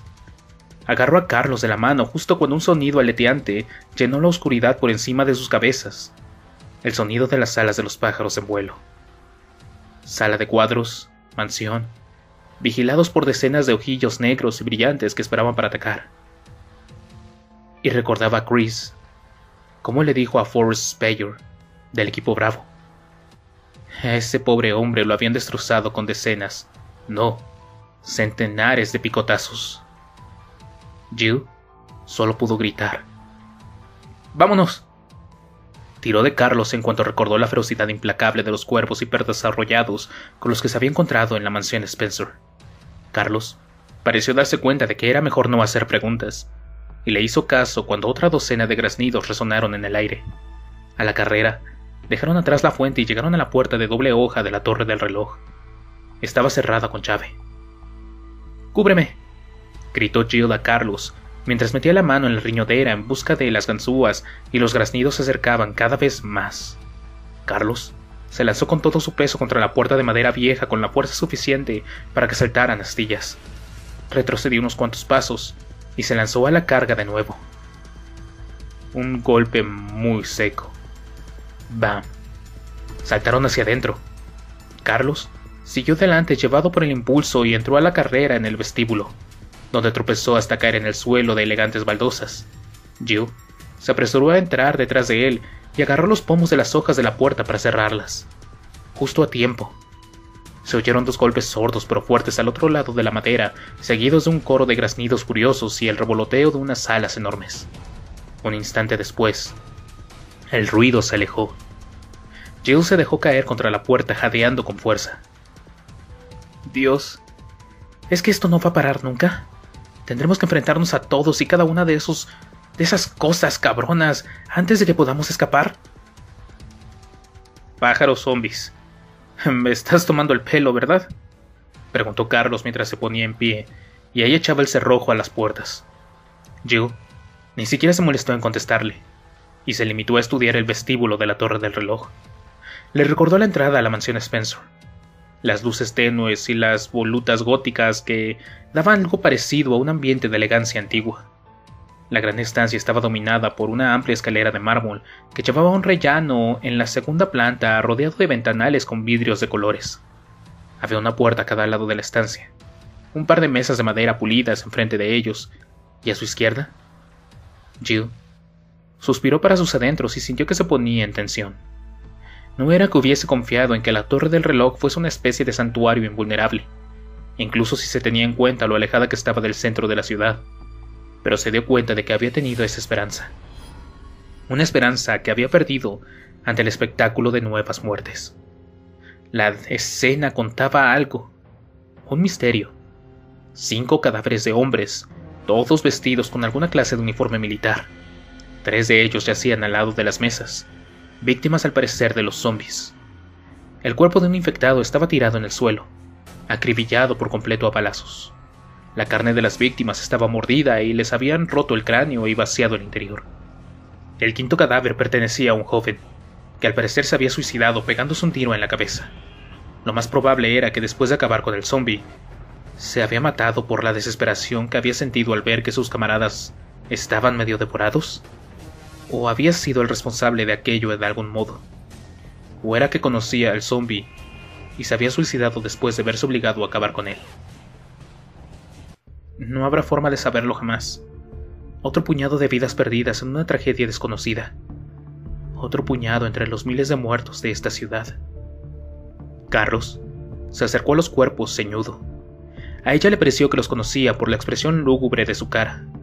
Se agachó agarró del asa una bolsa de lona manchada de sangre que estaba entre dos de los cadáveres y la arrastró hasta sacarla de allí, dejando un rastro de sangre por el suelo de baldosas. Jill pudo oír un entrechocar de objetos metálicos. Además, se dio cuenta de que debía de ser pesada, porque a Carlos le costaba un poco arrastrarla. ¿Eso es lo que creo que es? preguntó Jill. Carlos subió la bolsa a una de las mesas y sacó todo lo que había dentro. Jill sintió una oleada de alegría inesperada cuando vio el contenido. Se apresuró a acercarse a la mesa, incapaz de creer la suerte que habían tenido. Media docena de granadas RG-34, como la que había utilizado Mikhail. Ocho cargadores de 30 proyectiles para el M16, y llenos por lo que parecía. Por último, algo que ni siquiera había soñado tener. Un lanzagranadas M79 con un puñado de proyectiles de 40 milímetros. ¿Armas en la torre del reloj? dijo Carlos, con un tono de voz pensativo. Antes de que Chiu pudiera preguntarle qué quería decir, tomó uno de los proyectiles de lanzagranadas y dejó escapar un silbido. Granadas de metralla, comentó. Una de estas puede mandar volando a la mierda de un tiro a ese espantajoso Némesis. Jill arqueó la ceja. Sí, espantajoso. Eso quise decir. Bueno, literalmente espantajoso. Bueno, es un... algo idiomático, ¿entiendes? Pero también se refiere a cualquier bicho raro o feo. Jill pensó que era un término apropiado. Señaló que el mentón de los cadáveres que habían llevado aquellas armas. Carlos, ¿los conocías? Carlos se encogió de hombros con un gesto de incomodidad mientras le pasaba tres de las granadas de mano. Todos son del VCS. Los he visto por la oficina, pero no, no los conocía. No eran más que soldados de a pie. Y lo más probable es que no tuvieran idea de a dónde se estaban metiendo cuando aceptaron trabajar para Umbrella. O cuando los vieron aquí. Parecía estar curioso. y un poco triste al mismo tiempo. Cambió de repente de tema al recordar lo, lo cerca que estaban de lograr escapar de Raccoon City. ¿Quieres llevar tú el lanzagranadas? Le preguntó a Chio. Creí que no me lo ibas a pedir nunca, contestó ella con una sonrisa. Le encantaría empuñar un arma que, tal como había expresado Carlos de una forma tan pintoresca, podía mandar a la mierda de un tiro a ese tal Némesis. Ahora solo tenemos que encontrar un botón de algún lugar de la torre, pulsarlo y esperar a que llegue nuestro taxi a recogernos. ¿No es así? Carlos sonrió a la vez que metía los cargadores del M16 en el bolsillo de su chaleco. Y procurar no acabar muertos, como todo lo demás en este sitio de mierda. ¿Vamos arriba? Fue lo único que se escuchó después. Carlos se alimentó a sentir. Armados y preparados se dirigieron a la escalera. La segunda planta de la torre del reloj no era más que una balconada que daba al vestíbulo. Cubría tres lados del edificio, y había una sola puerta que tenía que dar a otras escaleras que subían al campanario. Ese era el término adecuado, si Carlos no recordaba mal. Bien, ya casi está hecho. Casi se ha acabado esto. Dejó que aquella idea repetida expulsara todas las demás sensaciones. Estaba demasiado cansado para tener en cuenta los sentimientos de rabia, pena y miedo que lo embargaban. Se daba perfecta cuenta de que no estaba muy lejos del momento en que podría perder el control. Ya se ocuparía de aclarar sus emociones cuando se hubieran largado Raccoon City. La balconeada en sí estaba decorada con tanto lujo como el vestíbulo. Sus baldosas de color azul hacían juego con los vidrios de las ventanas, formando un arco apoyado sobre dos columnas blancas. Podían ver casi toda la balconada desde el extremo superior de las escaleras. Parecía estar despejada, sin ninguna clase de monstruo o zombie a la vista. Carlos se relajó un poco y se fijó que Jill también pareciera más tranquila. Llevaba el revólver Colt Filton en la mano y el lanzagranadas cruzado sobre la espalda, con el cinturón de Carlos como chincha. ¿Cómo sabía Trent que aquí encontraríamos armas? ¿Sabía que tendríamos que quitárselas a los muertos? Carlos se dio cuenta de repente que estaba subestimando la capacidad de maniobra de Trent. Seguro que habían algún tipo de dispositivo de armas ocultos en el edificio. Eso era todo. Jill y él tan solo habían dado por casualidad con la bolsa de lona. La alternativa a eso era que Trent supiera de alguna manera que aquellos hombres morirían allí. Y era algo demasiado incluso para que los tuviesen en cuenta aquella... Bueno, en aquella situación. Recorrieron el primer tramo del balconada de lado a lado. Carlos se preguntaba qué le diría Jill si le hablaba de Trent. Lo más probable era que pensara que estaba bromeando. Todo aquello se parecía tanto a las novelas de malas... bueno, de malos misterios y de espías. Algo se movió por delante de ellos, al otro lado de la primera esquina. Algo en el techo. Una sombra desplazándose. Carlos apoyó en la barandilla y se inclinó a un lado para mirar. Pero fuese lo que fuese, estaba escondido detrás de uno de los arcos colgantes. O era algo que su cerebro agotado se había sacado de la manga para mantenerlo despierto. ¿Qué pasa? susurró Jill a su lado mientras mantenía el revólver en alto y preparado para disparar.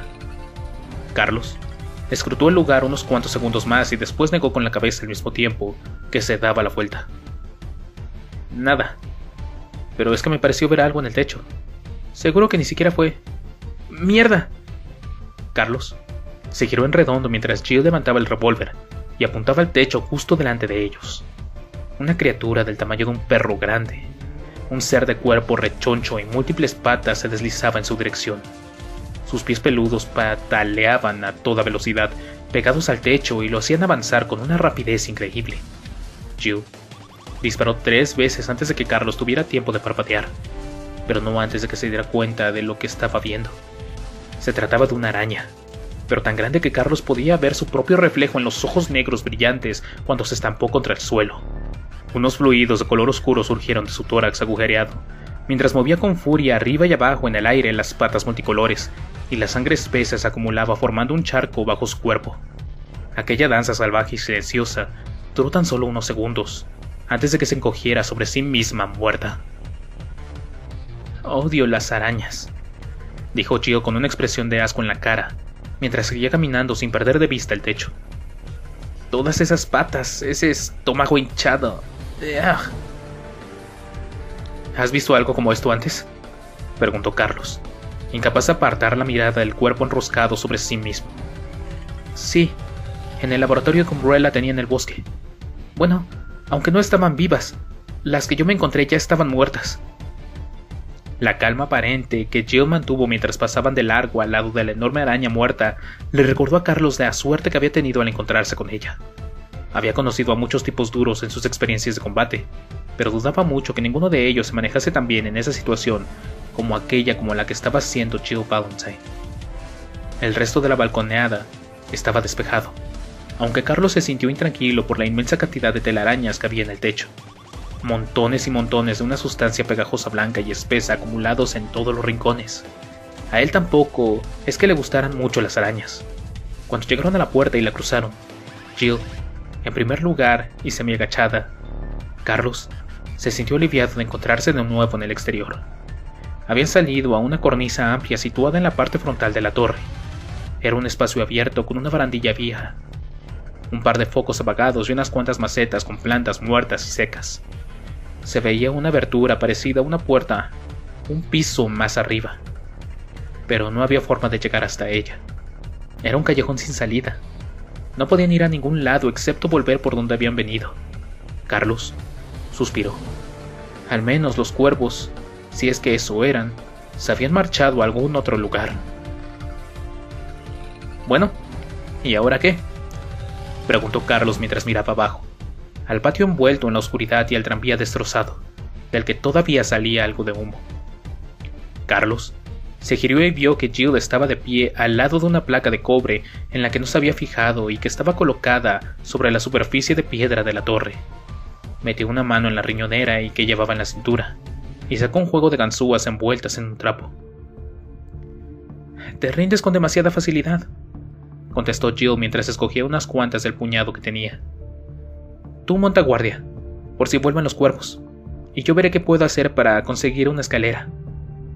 Carlos se quedó vigilando mientras se preguntaba si había algo que ella no pudiera hacer. Olió la llegada de la lluvia en el viento frío que azotaba la cornisa y un momento después oyó una serie de chasquidos seguidos de un zumbido producido por un mecanismo oculto. A continuación, una escalerilla metálica apareció justo debajo de la abertura y comenzó a descender. ¿Qué te parece si te quedas montando guardia unos cuantos minutos más? preguntó Jill sonriéndole. Carlos le devolvió la sonrisa, sintiendo el mismo nerviosismo que Jill. Ya casi se había acabado todo. Claro, a la orden, Jill subió con rapidez por la escalera y desapareció a través de la abertura. Un momento después, gritó que todo estaba despejado, y Carlos caminó arriba y abajo con impaciencia durante los minutos siguientes, pensando en todo lo que iba a hacer después de que los rescataran. Quería hablar de nuevo con Trent sobre lo que había que hacer para detener a Umbrella de una vez por todas. Fuese lo que fuese, estaba dispuesto a hacerlo. Seguro que también le interesaría hablar contigo. Nos comportaremos como si no supiéramos nada cuando lleguen los helicópteros, y hasta que no nos dejen marchar. Y luego planearemos nuestro siguiente paso. Bueno, después de una buena comida y unas 24 horas durmiendo. Eso es seguro. Estaba tan concentrado en la huida de Raccoon City que al principio no se dio cuenta de la expresión de la cara de Jill cuando ella bajó. Cayó en la cuenta de que las campanas no estaban repicando. Le sonrió y sintió que el alma se le caía a los pies cuando se percató de que su sufrimiento todavía no había acabado. Falta un engranaje en el mecanismo que acciona las campanas, dijo ella, y lo necesitamos para que suenen. La buena noticia es que apuesto lo que quieras a que esté en algún lugar de este mismo edificio. Carlos arqueó una ceja. ¿Cómo lo sabes? Hallé esto al lado de uno de los otros engranajes dijo ella mientras le entregaba una postal algo estropeada. La fotografía de la parte delantera mostraba tres pinturas colgadas en fila, y en cada una de ellas aparecía un reloj. Carlos le dio la vuelta a la postal y vio que ponía la torre del reloj de St. Michael, Raccoon City, en la esquina superior izquierda. Debajo había una frase escrita, y Jill la leyó en voz alta. Entrégale tu alma a la diosa, empujó las manos juntas para rezar ante ella. Carlos se le quedó mirando. ¿Me estás diciendo que tenemos que rezar para conseguir ese engranaje? Lo que estoy diciendo es que el engranaje se encuentra donde están estas tres pinturas. Carlos le devolvió la postal. Me has dicho que esa era la buena noticia. ¿Cuál fue la mala? Jill le sonrió, esta vez con amargura y sin ninguna alegría. Que dudo mucho que el engranaje esté a plena vista. Se trata de resolver alguna especie de acertijo, como los que encontré en la mansión Spencer. Se quedó callado un momento, y algunos de ellos casi me mataron. Carlos no preguntó. No quería saberlo, al menos en aquellos momentos. Capítulo 17 Después de seguir su rastro durante casi media hora, Nikolai encontró al Dr. Richard Aquino en la cuarta planta del mayor hospital de Raccoon City. El hecho de ver al otro perro guardián alegró a Nikolai de un modo tal que no pudo explicar ni siquiera a sí mismo. Fue una sensación de que todo iba bien en el mundo, que la situación se desarrollaba como debía. Conmigo al mando tomando las decisiones. Dentro de un momento solo quedarán tres. Tres perritos a los que tendré que dar casa en la tierra de los muertos vivientes. ¿Puede haber algo que sea mejor que esto? Aquí no estaba cerrando con llave una puerta. Su cara sudorosa de tez pálida mostraba una expresión de miedo y movía los ojos de un lado a otro mientras miraba a su alrededor lleno de nerviosismo. Se metió las llaves en el bolsillo. Se colocó bien las gafas sobre el puente de la nariz y se adentró en el pasillo que llevaba de vuelta al ascensor. A Nikolai le pareció divertido que ni siquiera fuese armado. Salió a medias de entre las sombras, dispuesto a pasárselo bien. Había tardado más de una hora en llegar al hospital, marchando al trote casi todo el rato, y que aquel individuo ratonil se había atrevido a intentar esconderse de él. Aunque al verlo en aquel momento, Nikolai pensó que lo más probable era que el científico ni siquiera se hubiese dado cuenta de que lo estaban buscando, y lo había esquivado más por suerte que por otra cosa. Aquí no tenía el típico aspecto de alguien capaz de perderse en su propia casa. En aquel mismo momento, ni siquiera se había dado cuenta de que Nikolai se encontraba a tan solo tres metros de él. Doctor, exclamó Nikolai en voz bien alta. Y Aquino se dio vuelta con un sobresalto abriendo la boca y colocando las manos de forma involuntaria delante de él en un gesto defensivo. Su sorpresa fue absoluta. Nikolai no pudo evitar sonreír un poco. ¿Qué, qué, qué, qué, quién es, quién es usted? Tartamudeó Aquino. Tenía los ojos de un color azul claro y acuoso y un corte de pelo horrible. Nikolai se acercó e intimó de forma deliberada al científico con su tamaño. Soy de Umbrella. He venido a ver cómo lleva los progresos de la vacuna, entre otras cosas. ¿De, de, de Umbrella? Yo no, no... ¿Qué vacuna? No sé de qué, me está hablando. No lleva armas. No tiene habilidades de combate y sabe decir una mentira sin ruborizarse. Debe de ser brillante en su campo. Nikolai bajó la voz y habló en un tono de voz conspirador. Doctor, me han enviado como parte de la operación Perro Guardián. No ha enviado sus informes en las últimas citas. Han empezado a preocuparse por usted. Aquino pareció a punto de desmayarse por el alivio que sintió. Ah, sí, ya conoce. Pensé que era... Sí, la vacuna. He estado muy ocupado. Eh, bueno, mi esto contacto quería que la síntesis inicial estuviese dividida en varias fases, de modo que no existe una muestra única ya cultivada. Pero puedo asegurarle que tan solo se trata de combinar los distintos elementos. Todo está preparado, créame. El doctor casi balbuceando en su esfuerzo de ser amable. Nikolai meneó la cabeza fingiendo asombro y admiración. ¿Y ha hecho todo esto usted solo? Aquino sonrió débilmente. Con la cooperación de mi ayudante, Douglas, que Dios acoge en su seno. Me temo que ha andado un poco apurado desde que murió. Eso fue antier. Por eso no he podido enviar los últimos informes. Se fue callando poco a poco y luego volvió a intentar sonreír.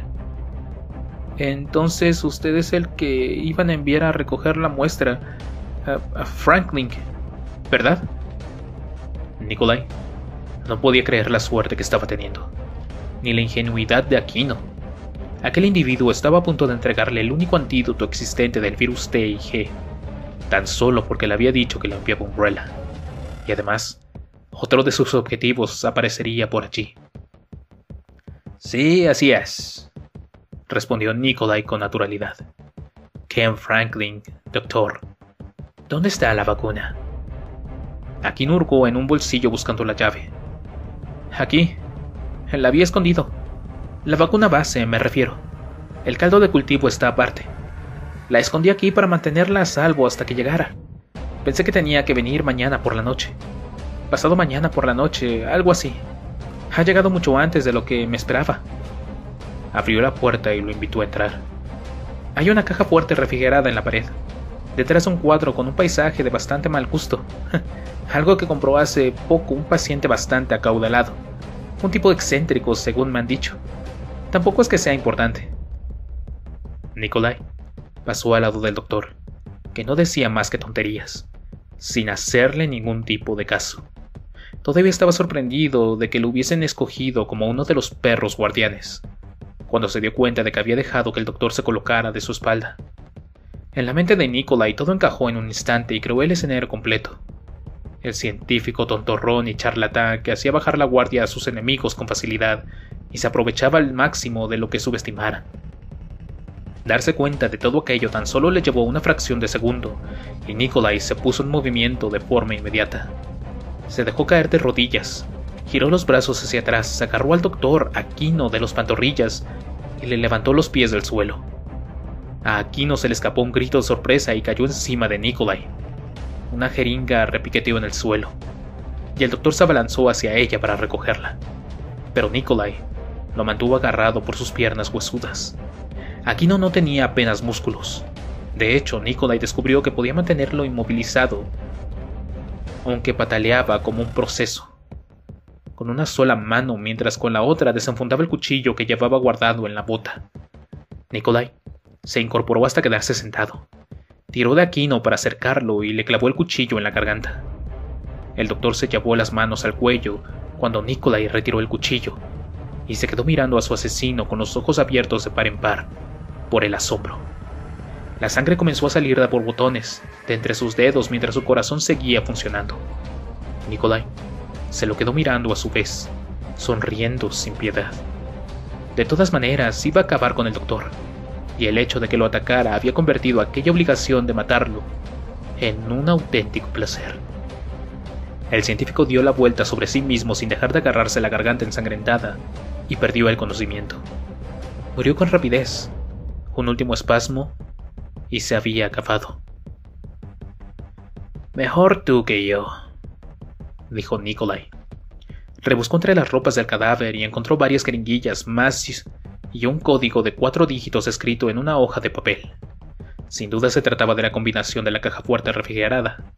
Era obvio que el doctor Aquino no se esperaba que Nikolai apareciera para robar la vacuna. Se puso en pie y se dirigió a la caja fuerte al mismo tiempo que revisaba sus planes. Lo hacía siempre que podía después de cualquier acontecimiento imprevisto. Aquino esperaba que fuese Ken Franklin quien recogiese la muestra, por lo que Franklin aparecería por allí, a menos que el doctor le hubiera mentido. Nikolai no lo creía. Aquí no había sido convincente porque le había dicho la verdad, una técnica excelente para distraer a cualquier oponente.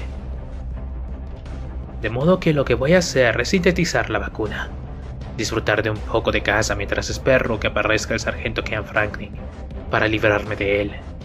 Y después, destruyó el hospital y de paso, todas las pruebas de la investigación del doctor Aquino.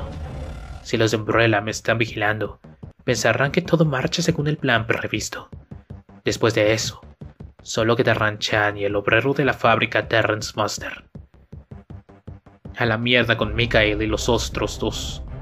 Ya no eran importantes. Nikolai pronto sería el único perro guardián superviviente, y por eso, solo por eso, valdría millones de dólares pero con la vacuna de los virus T y G en la mano, no había límite en lo que la gente de Umbrella estaría dispuesta a pagarle. Jill estaba dispuesta a admitir su fracaso cuando llegaron a las habitaciones posteriores de la torre. Habían estado en todos lados, habían abierto puertas y cerraduras, habían registrado todas y cada una de las estancias llenas de mobiliarios elegantes, habían pasado por encima de cadáveres ya existentes y habían acabado de crear algunos nuevos. Una ventana rota en la capilla de la torre permitió la entrada de unos cuantos infectados, y también se tropezaron con otra araña mutante en un pasillo, justo al salir de la biblioteca. Le había contado a Carlos mientras caminaba algunos datos sobre la mansión Spencer y los terrenos que la rodeaban, una información que obtuvo después de la desastrosa misión de los Stars. El viejo Spencer, uno de los fundadores de la compañía farmacéutica de Umbrella, era un fanático de los pasadizos y de los escondrijos secretos.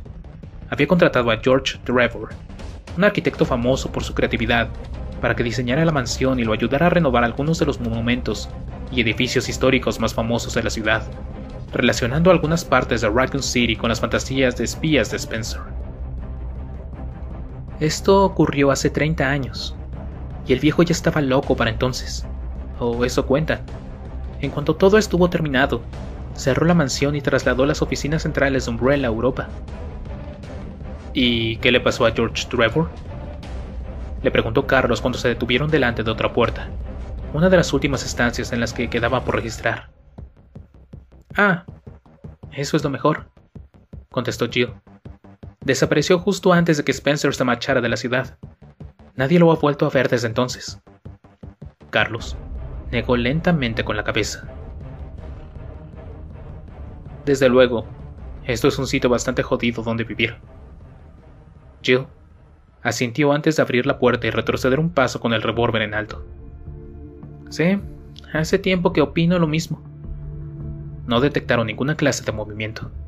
Habían varias filas de sillas a la derecha y tres estatuas, bustos de mujeres, justo enfrente de ellos. A la izquierda de la puerta vieron dos cadáveres juntos. Eran una pareja. Estaban abrazados y Jill no pudo evitar un gesto de dolor y pena mientras apartaba la mirada.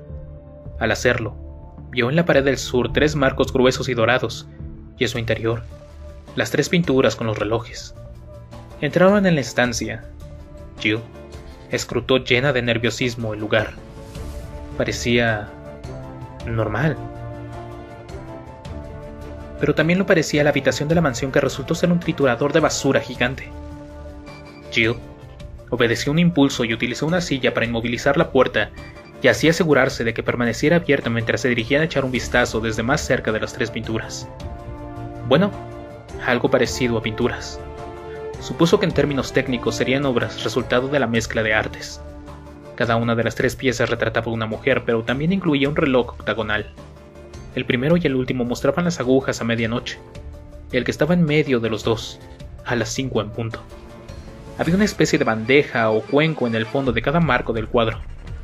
Indicaban de izquierda a derecha que se trataba de las diosas del pasado, del presente y del futuro. En la postal decía algo de poner las manos juntas, comentó Carlos. ¿Puede que se refiriera a las manecillas del reloj? Jill asintió. Sí, tiene sentido. Es lo suficientemente críptico como para ser cabreante. Alargó un brazo y tocó con suavidad el cuenco de la pintura del centro, que representaba una mujer bailando. Se oyó un leve chasquido y el cuenco se hundió un poco al recibir el peso de la mano de Jill. Al mismo tiempo las manecillas del reloj empezaron a girar. Jill apartó la mano de inmediato, temerosa de haber puesto en marcha alguna trampa. Las manecillas del reloj volvieron enseguida a su posición inicial, pero no ocurrió nada más. Manos juntas, murmuró. ¿Crees que se refiere a que las manecillas de los tres relojes deben estar señalando la misma hora? ¿O querrá decir que deben de estar alineadas de forma literal? Carlos se encogió de hombros y alargó el brazo hacia el cuadro de la diosa del futuro. Sin duda, la pintura más inquietante de las tres. El pasado estaba representado por una muchacha sentada en una colina, el presente por la mujer que bailaba, y la diosa del futuro era una mujer con un vestido de fiesta ceñido sobre su atractiva figura, con el cuerpo inclinado en una posición seductora, y con el rostro desnudo y sonriente de una calavera. Jill reprimió un estremecimiento y no permitió que la mente se le llenaran con ideas sobre una muerte inmediata como si no pensara bastante en ello. El cuenco que Carlos tocó también se hundió bajo su contacto. pero fueron de nuevo las manecillas del reloj de la diosa del presente las que se movieron. Por lo que parecía, los otros dos relojes estaban bloqueados en la medianoche. Jill se apartó de la pared pensativa con los brazos cruzados, y de repente se le ocurrió la respuesta. Supo cómo funcionaba aquel rompecabezas, aunque no tenía la solución exacta. Se dio la vuelta con la esperanza de que las piezas que faltaban estuviesen cerca, y sonrió al ver las tres estatuas. ¡Ja! Aquella simetría. Y los tres objetos brillantes que sostenían entre sus delgados dedos, de piedra. Es un rompecabezas de balanza, dijo mientras se aproximaba a las estatuas. Cuando estuvo más cerca, vio que cada una de ellas sostenía un cuenco con una piedra redonda del tamaño de un puño. Las recogió y las sopesó, notando la diferencia de peso entre las tres. Tres piedras, tres cuencos, comentó mientras regresaba donde se encontraban las pinturas. Le entregó a Carlos la piedra negra, que era de obsidiana u ónice. No lo sabía con seguridad. La segunda piedra era de cristal transparente, y la tercera de ámbar reluciente. Y lo que tenemos que conseguir es que el reloj del centro de la medianoche, dijo Carlos acabando la conclusión. Jill asintió. Estoy segura de que hay una lógica en la solución, una correlación de los colores, como que el negro es para la muerte, por ejemplo, o a lo mejor es algo matemático. No importa, no tardaremos mucho en probar todas las combinaciones posibles. Se pusieron manos a la obra y primero fueron poniendo las distintas piedras en los diferentes cuencos una por una y después todas a la vez. Ella estudió con atención los movimientos de las manecillas en cada uno de los casos. Al parecer, las piedras tenían valores distintos según en qué cuenco se pusieran. Jill sintió que estaban a punto de encontrar la solución, que desde luego era matemática, cuando dieron con ella por casualidad o por suerte. La piedra de cristal estaba en el pasado, la de la obsidiana en el presente y la de ámbar en el futuro.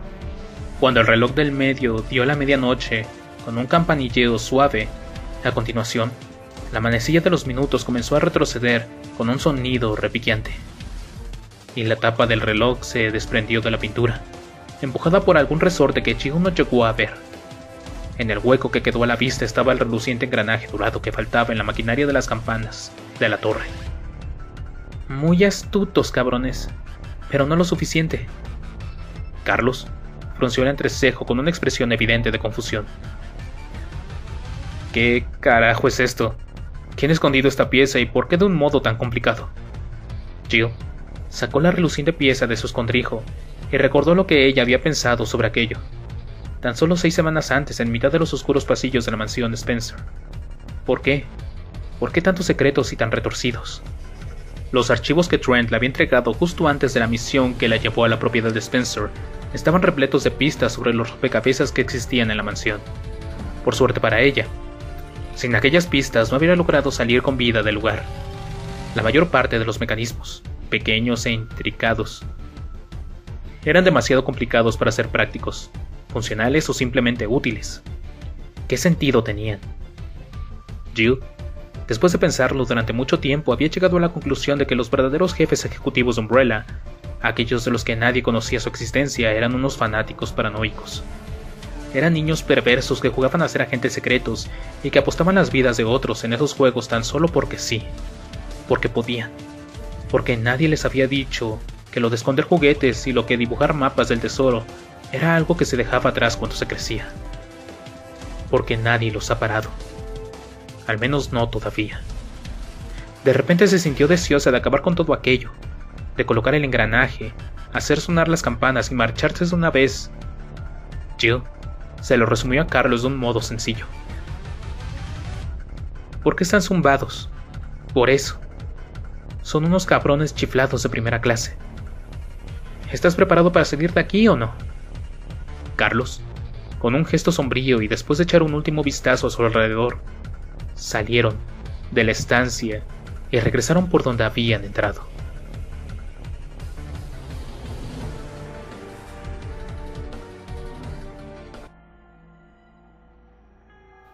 Capítulo 18 Carlos observó cómo Jill trepaba una vez más por la escalera, intentando no hacerse demasiadas ilusiones otra vez. Si aquello no funcionaba, iba a sufrir una gran decepción. No, Una enorme decepción. A la mierda con todo. Si no funciona, nos vamos andando. O vemos si podemos llegar a la fábrica y robar un medio de transporte. Jill tiene razón. Esta gente son unos lunáticos de narices. Cuanto antes salgamos de su territorio, será mejor.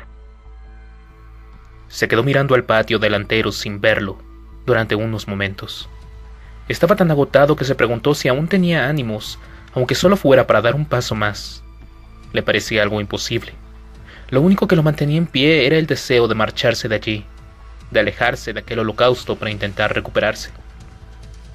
Cuando sonó el primer repique de campana y el tañido bajo desde la parte superior de la torre, Carlos se dio cuenta de que no podría contener sus esperanzas. Lo intentó. Se dijo que el programa de llamada no funcionaría, que Umbrella enviaría a un grupo de asesinos para acabar con ellos, que el piloto sería un zombie. Nada de aquello sirvió. Sabía que un helicóptero iría a recogerlos. Estaba convencido. Solo esperaba que el equipo de rescate no tuviera ningún problema para encontrar un lugar donde aterrizar. Pocos. Había cuatro en el borde de la cornisa y una caja de mandos oxidada cerca de la puerta que llevaba al interior. La luz servía para guiar el transporte y hacer que llegara con mayor rapidez. Carlos se apresuró a acercarse y levantó la vista para saber si Jill comenzaba a bajar. No lo había visto. Y cuando bajó la mirada, vio que ya no estaba solo. Como por arte de magia, el espantoso monstruo mutilado que perseguía a Jill apareció de repente allí mismo, lo bastante cerca como para que Carlos pudiera oler la carne quemada. El horrible rostro deformado estaba inclinado hacia arriba, hacia la parte superior de la escalera. Carlos, cuidado, gritó Jill. Sin embargo, aquel monstruo, Némesis, no le hizo caso en absoluto, y dio un paso gigantesco hacia la escalera mientras sus tentáculos, como serpientes sin ojos, azotaban el aire alrededor de la enorme cabeza. Un paso más y estaría a los pies de la escalera, y Jill quedaría atrapada. Dijo que las balas no le hacían daño. Carlos, desesperado, vio el gran interruptor verde del panel de control de los focos y se lanzó por él, sin tener muy claro lo que esperaba conseguir. Distraerlo, si tenía suerte. Los cuatro focos se encendieron al mismo tiempo, segadores, e hicieron subir la temperatura de forma inmediata a su alrededor, al mismo tiempo que iluminaban la torre, haciéndola visible desde kilómetros de distancia. Uno de los potentes rayos estaba enfocado de forma directa contra el rostro odioso del monstruo. La potencia de la luz lo obligó a retroceder, trastabillando, a la vez que protegía con aquellas manos enormes los ojos mutantes. Carlos actuó. Echó a correr hacia Nemesis cegado, con el M16 en alto, y le propinó un culatazo en pleno pecho con toda la fuerza que pudo. La criatura perdió el equilibrio y siguió trastabillando hacia atrás. Las piernas tropezaron con la barandilla y toda una sección de la misma se partió con un fuerte crujido y cayó hacia la oscuridad. Némesis fue detrás. Carlos oyó un golpazo tremendo contra el suelo justo cuando los focos recalentados se apagaron. Los ojos se le llenaron de manchas oscuras danzantes durante unos momentos. El tremendo repicar de las campanas siguió llenando el aire mientras Jill bajaba por la escalera. Se descolgó del hombro en lanzagranadas en cuanto llegó a la cornisa y se reunió con Carlos al lado de la barandilla rota. Yo... Gracias, dijo Jill mirándolo directamente a los ojos. Su mirada era firme y sincera. Si no hubieras encendido las luces, ya estaría muerta. Carlos quedó impresionado y un poco azorado por su sinceridad. De nada, contestó. Se había dado cuenta de repente que era muy, muy atractiva, y no solo en el sentido físico, y de la poca experiencia de verdad que tenía con las mujeres. Era un mercenario de 21 años, y no era precisamente que hubiera tenido muchas oportunidades ni tiempo para andar ligando. No puede ser mucho mayor que yo. No tiene más de 25 años y quizá... Jill chasqueó los dedos delante de su cara y lo trajo de nuevo a la realidad. Aquello le recordó lo cansado que estaba. Se había ido por completo. ¿Sigues aquí? Carlos asintió y carraspeó un poco. Sí, sí, lo siento. ¿Qué decías? He dicho que será mejor que nos pongamos en marcha. Si es que está vivo, después de lo que le haya estallado una granada en plena cara, dudo mucho que una caída de dos pisos lo mate. De acuerdo, contestó Carlos. De todas maneras, deberíamos bajar a la parte delantera. Lo más seguro es que dejen caer una cuerda y un arnés y no pueden posarse. Jill asintió. Vamos entonces. Carlos entró de nuevo en la torre mientras la poderosa voz de las campanas seguía resonando. Y de repente, se preguntó si Nikolai todavía estaría vivo. Y si lo estaba, ¿qué haría cuando oyese replicar las campanas? Nikolai oyó sonar las campanas en su camino de regreso a la ciudad y soltó un bufido de irritación, pero se negó a dejarse tentar. No confiaba en que el trío sin apenas experiencia lo consiguiera, pero ¿qué importaba si lo habían logrado? Davis Chan había enviado otro informe, desde una tienda de moda para mujeres nada menos, y Nikolai estaba decidido a darle caza. ¿Por qué debería importarme que se marchen con el rabo entre las piernas si tengo lo que tengo? Nikolai sacó el estrecho tubo de metal de un bolsillo por tercera vez desde que había salido del hospital. Fue incapaz de resistirse a ello.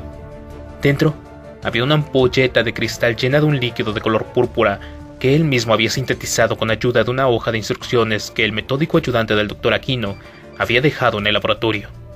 Nikolai sabía que lo mejor y lo más seguro sería guardar la muestra en algún lugar, pero el pequeño envase representaba su poder sobre los demás perros guardianes y el estatus recién adquirido en Umbrella. Era un dirigente natural, un líder entre hombres menores, y se dio cuenta de que llevar la vacuna encima y sostenerla en la mano de vez en cuando lo hacía sentirse poderoso, respaldado, en cierto modo. Nikolai sonrió y volvió a guardar el envase en el bolsillo a su alcance. Comenzó a caminar de nuevo e hizo caso omiso de forma deliberada del replique de las campanas. Todo iba bien. Tenía la vacuna, sabía dónde se encontraba Chan y dónde iba a estar Franklin. En menos de 48 horas. Ya había conectado todos los explosivos para hacer saltar por los aires el hospital. Apretaría el botón que los haría estallar en cuanto su encuentro con Franklin hubiese finalizado. Nikolai pensó que quizá lo mejor sería acercarse a la fábrica y cargarse a Terrence Foster, mientras esperaba que llegase el momento de librarse de Franklin. Tenía tiempo de sobra después de todo.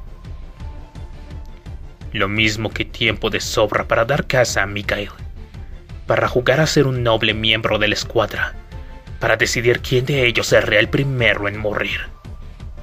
Los repliques de la campana siguieron martillándole la cabeza, recordándole su fracaso, pero se negó a verse distraído por la huida de tres incompetentes. Ya estaba acercándose a la ciudad. Pudo distinguir el brillo combinado de los fuegos pequeños de otros no tan pequeños que azotaban a la ciudad muerta. Incluso, aunque quisiera, no llegaría a tiempo a la torre del reloj antes de que el primer helicóptero acudiese a la llamada. Y tampoco es que quisiese. Tuvo la oportunidad de hacerlo después de matar al doctor Aquino, y decidió que no merecía la pena la pérdida de tiempo. Había sido la decisión adecuada. Y no merecía tener en cuenta las extrañas dudas que lo acosaban mientras seguía oyendo repicar las campanas. No significaban nada, tan solo que habían sobrevivido. No quería decir que les fuese tan bien como a él. Además, todavía tenía unos cuantos perros a los que matar si quería asegurarse por completo el monopolio sobre la información de todo lo ocurrido. Pensó que lo más probable era que Chan decidiese pasar la noche en la tienda desde donde había enviado los informes dado la tardanza que era. Nikolai lo mataría. Se apropiaría de los datos que había recogido y se retiraría a descansar a algún lugar seguro. En la reunión con los perros guardianes, nos habían informado de que los alimentos eran bien escasos, pero estaba seguro de que se las apañaría. A lo mejor bastaría con entrar en unas cuantas despensas a buscar comida enlatada. Enviaría su propio informe por la mañana para mantener su tapadera y pasaría todo el día recogiendo información antes de dirigirse al oeste de nuevo. Todo iba de maravilla. Y oyó el sonido de un helicóptero que se acercaba mientras cruzaba las afueras de la ciudad. No le importó en lo más mínimo. Que esos cobardes cabrones de mierda huyeran. Él se sentía genial, con el control de la situación. Mejor que genial, solo tenía dolor de cabeza por el repique de las malditas campanas. Recorrieron de nuevo todo el camino que habían andado en el interior de la torre del reloj. Jill quería asegurarse de que Nemesis se confundiera o se dedicara a dar vueltas todo el tiempo posible antes de que ellos tuvieran que acercarse al helicóptero. Se fueron inventando un cuento para los del equipo de evacuación mientras caminaban. Jill se llamaba Kimberly Sampson. Era el nombre de la mejor amiga de Jill en el quinto curso del colegio, y trabajaba en una galería de arte de la ciudad. No tenía familia allí porque se había mudado a Raccoon City hacía poco tiempo.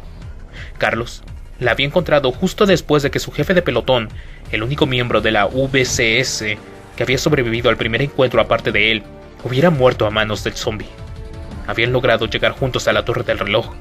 Ese era el fin de la discusión.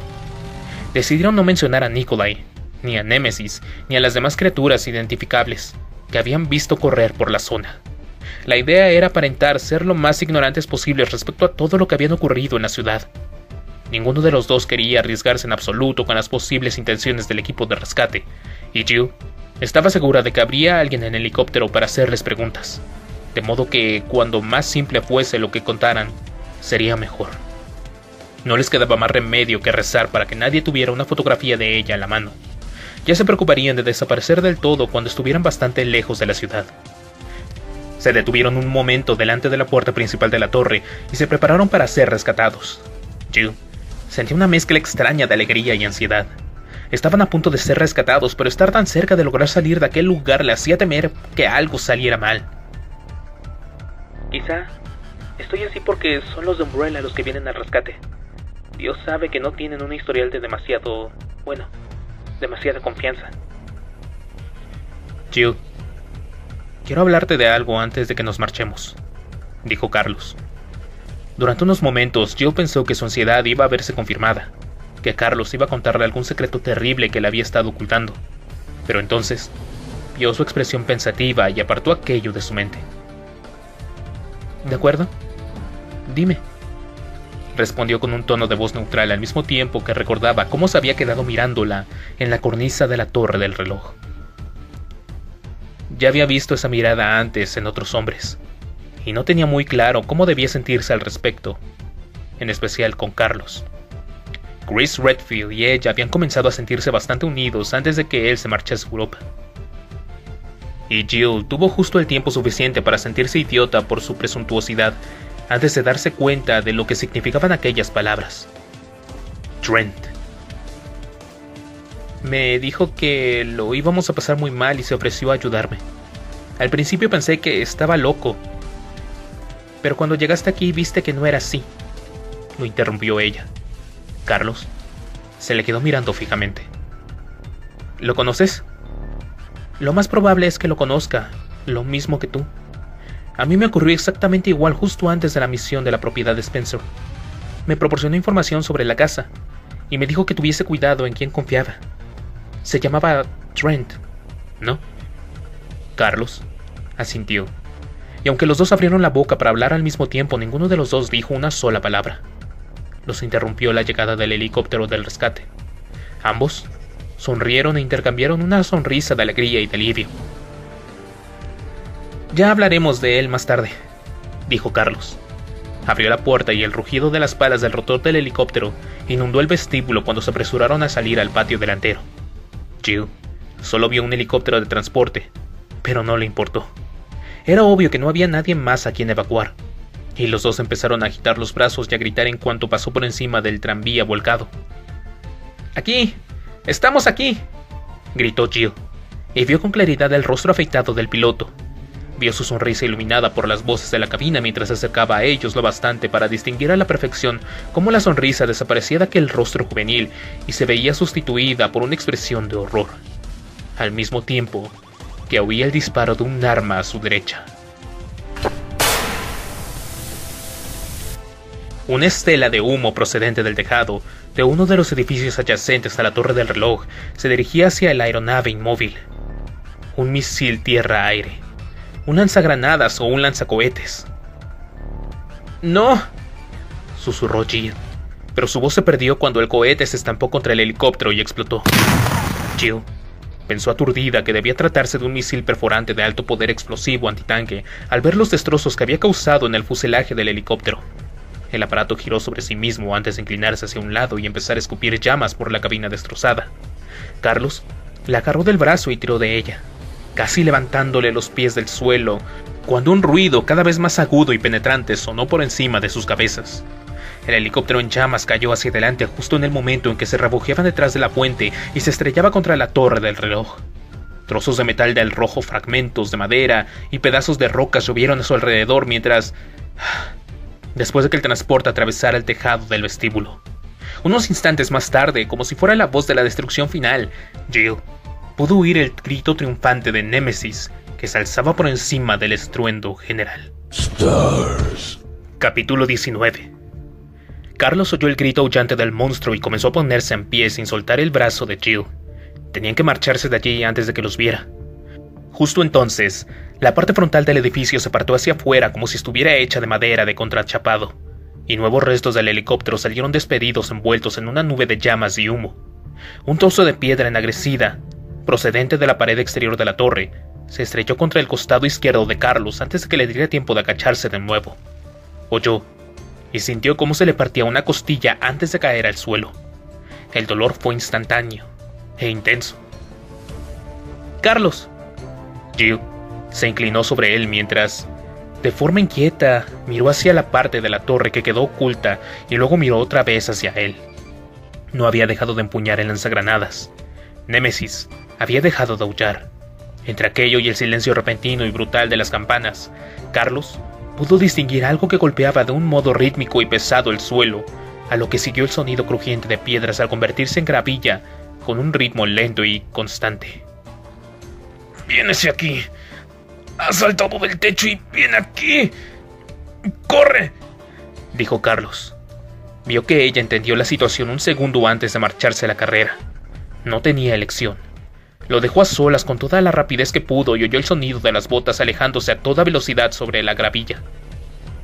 Carlos giró la cabeza mientras se incorporaba a medias, esforzándose por no sentir dolor, y vio al monstruo.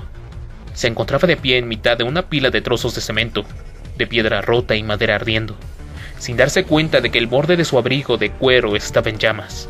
Su rostro aberrante se movía de un lado a otro en busca de Jill. Al igual que en la ocasión anterior, no pareció reparar en él. Siempre que no me interponga en su camino... No duele. No duele, no duele. Némesis levantó un lanzacohetes hasta uno de sus gigantescos hombros con un movimiento fluido y sin apenas esforzarse. Apuntó, y Carlos comenzó a disparar. Cada sacudida del M16 provocada por los proyectiles disparados le envió una nueva oleada de agonía a los huesos, pero disparó con puntería a pesar de ese dolor tremendo. En el rostro de aquella criatura deforme comenzaron a aparecer pequeños agujeros negros, y Carlos incluso pudo oír el sonido metálico de una bala al rebotar en el lanzacohetes. Los tentáculos carnosos que asomaban por detrás de la cabeza y salían debajo de la larga chaqueta del monstruo comenzaron a agitarse de un modo frenético como si estuviesen enfurecidos, enrollándose y desenrollándose con una velocidad increíble. Carlos vio que inclinaba el lanzacohetes hacia donde él se encontraba, pero siguió disparando. Sabía que no podría levantarse a tiempo para echar a correr. ¡Corre, Jill! ¡Corre, márchate! Apuntó contra Carlos y disparó. Este vio un estallido de luz que se dirigía hacia él. Sintió el calor del cohete antitanque de alto poder explosivo pasar cerca de su piel y de algún modo no murió. Pero algo que no estaba muy lejos a su espalda voló por los aires. La fuerza de la onda expansiva de la explosión lo levantó y lo arrojó contra un lado de la fuente. El dolor fue increíble, pero logró mantenerse consciente, decidido a conseguirle un poco más de tiempo a Jill. Carlos Medio recostado sobre el borde de la fuente, comenzó a disparar de nuevo contra el monstruo apuntando otra vez a la cara, pero las balas lo alcanzaron por todos lados mientras esforzaba por mantener el control del arma. ¡Muere! ¡Muérete ya de una maldita vez! Pero no moría. Ni siquiera mostró el más mínimo gesto de dolor. Carlos supo que solo le quedaba medio segundo de vida antes de quedar reducido a una mancha grasienta sobre el césped. El lanzacohetes estaba apuntando en línea recta a la cara de Carlos cuando ocurrió un disparo entre un millón. ¡Ay, carajo! El pink metálico se convirtió en una explosión, en un estallido repentino de luz al rojo blanco. El monstruo salió despedido hacia atrás cuando el arma se desintegró y desapareció de la vista. El rifle de Carlos se quedó sin balas. Alargó el brazo para meter un nuevo cargador y sufrió otra oleada de dolor. La luz se apagó y la oscuridad lo arrastró. Jill vio a Carlos desplomarse y se obligó a sí misma a quedarse donde estaba, entre un seto y el tranvía. Había visto caer a Némesis, arrojado de espaldas contra la pila de escombros en llamas por el estallido que había destrozado el lanzacohetes. Pero la capacidad del monstruo probaba una y otra vez para esquivar a la muerte, la hizo quedarse quieta y no acudir en ayuda de Carlos. Si aquello estaba en pie todavía, Jill quería asegurarse de que solo se fijaría en ella. El lanzagranadas apenas le pesaba en las manos. La adrenalina que le recorría las venas de nuevo proporcionaba nuevas fuerzas a su deseo de venganza. Y en cuanto al Némesis, se puso en pie con un hombro envuelto en llamas y los músculos a carne roja visible bajo la ropa destrozada, Jill empezó a dispararle.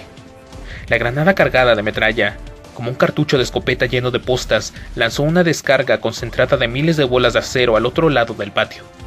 Pero Jill no había apuntado bien y el disparo falló por completo. Némesis, que se había puesto a aullar de nuevo, quedó indemne. Y los restos de la pared delantera de la torre quedaron cubiertos de agujeros negros. El Némesis dejó de aullar aunque su pecho continuaba ardiendo. Tenía la piel negra y cuarteada. Inclinó el cuerpo hacia Jill mientras ésta abría la recámara de lanzagranadas y sacaba otro proyectil de la bolsa. Rezó para que las heridas del monstruo fueran peores de lo que parecía. Agachó la cabeza y empezó a correr hacia ella. Sus increíbles zancadas la hicieron acercarse a una velocidad tremenda. Cruzó el patio casi en menos de un segundo y sus tentáculos alzaron por encima de su cabeza como si se dispusiera a agarrarla. Jill saltó hacia su izquierda y se metió, con el lanzagranadas todavía en la mano, en un pasillo formado por el seto y la pared occidental, intacta todavía, de la torre. Oyó cómo interrumpía a través del seto en el momento que ella llegaba al final. Casi la había alcanzado, su velocidad era extraordinaria. Estaba poco más de la distancia de un brazo mientras ella doblaba la esquina. Y en ese preciso instante, algo la golpeó en el hombro derecho. Algo sólido y viscoso que se enterró en su piel como si fuera un dedo gigantesco y sin hueso. Le picaba, como si el veneno de un millar de avispones hubiera metido de repente en sus venas, y comprendió que uno de los tentáculos le había atravesado la carne. ¡Mierda! ¡Mierda! ¡Mierda! ¡Mierda! No podía pensar en ello. No tenía tiempo. Sin embargo, Némesis se detuvo. Alzó la cabeza hacia las estrellas y aulló su victoria al firmamento oscuro y frío. Jill también se detuvo tan valiente. Metió el proyectil en el lanzagranadas, cerró la recámara y le deserrajó un tiro cuando se abalanzaba de nuevo contra ella. El disparo impactó de lleno al aullante Némesis justo debajo de la cadera derecha y le desgarró los músculos de la parte superior del muslo. Una lluvia de trozos de carne y piel salieron despedidos hacia atrás. Cayó al suelo. Se arrastró unos cuantos metros más y se desplomó como una montaña de carne desgarrada. Se quedó allí quieto, monstruoso y en silencio. A Jill se le cayó la siguiente granada en su frenesí por recargar y el proyectil se alejó rodando. Logró agarrar con firmeza la última, y acababa de cerrar la recámara del arma después de recargarla cuando Némesis comenzó a levantarse de espaldas a ella. Jill Apuntó a la parte baja de la espalda y disparó. El estruendo del arma no fue más que otro ruido sordo que le llegaba por debajo de la fuerte zumbido de sus oídos. Némesis ya estaba de pie cuando recibió el impacto, que lo alcanzó en la parte izquierda del cuerpo. Lo que una persona normal habría sido una herida letal en mitad de un riñón, por lo que pudo ver. Eso no fue así en el caso del asesino de Stars. Trastabilló se irguió de nuevo y comenzó a alejarse cojeando con una de sus gigantescas manos tapando la herida. ¿Se marcha? Se está marchando. Sus pensamientos eran un poco lentos e incoherentes, y tardó en darse cuenta de que el hecho de que se marchara no era nada nuevo, o bueno. No podía permitir que se fuera para curarse y luego regresar. Tenía que matarlo mientras todavía estaba débil. Jill empuñó el Colt Filton e intentó apuntar pero se le nubló la vista y no pudo enfocar con precisión la silueta que se alejaba a través de los restos en llamas. Se sentía mareada y algo enfervecida. Pensó que lo más probable era que lo hubiese infectado con el virus T. No tenía que mirarse la herida del hombro para saber que era seria. Sentía la sangre tibia bajarle por el costado y empapar la cinturilla de la falda. Deseó creer que el virus estaba saliendo de su cuerpo junto con la sangre, pero no pudo engañarse ni siquiera estando herida de tanta gravedad. Pensó por unos momentos en utilizar la 357 que llevaba en la mano, pero luego se cortó de que Carlos Bueno, de Carlos. Y comprendió que tenía que esperar. Tenía que ayudarlo si aún podía. Al menos, eso le debía al mercenario. Reunió las fuerzas que le quedaban, que iban desapareciendo con rapidez, y se dirigió hacia Carlos. Estaba tendido al lado de la fuente, gimiendo medio inconsciente. Sin duda, estaba herido, pero al menos no se veía sangre por ningún lado. Tal vez esté bien. Fue su último pensamiento antes de sentir que su cuerpo la traicionaba y se rendía, dejándola caer al suelo y sumiéndola en un sueño muy, muy profundo. Está oscuro.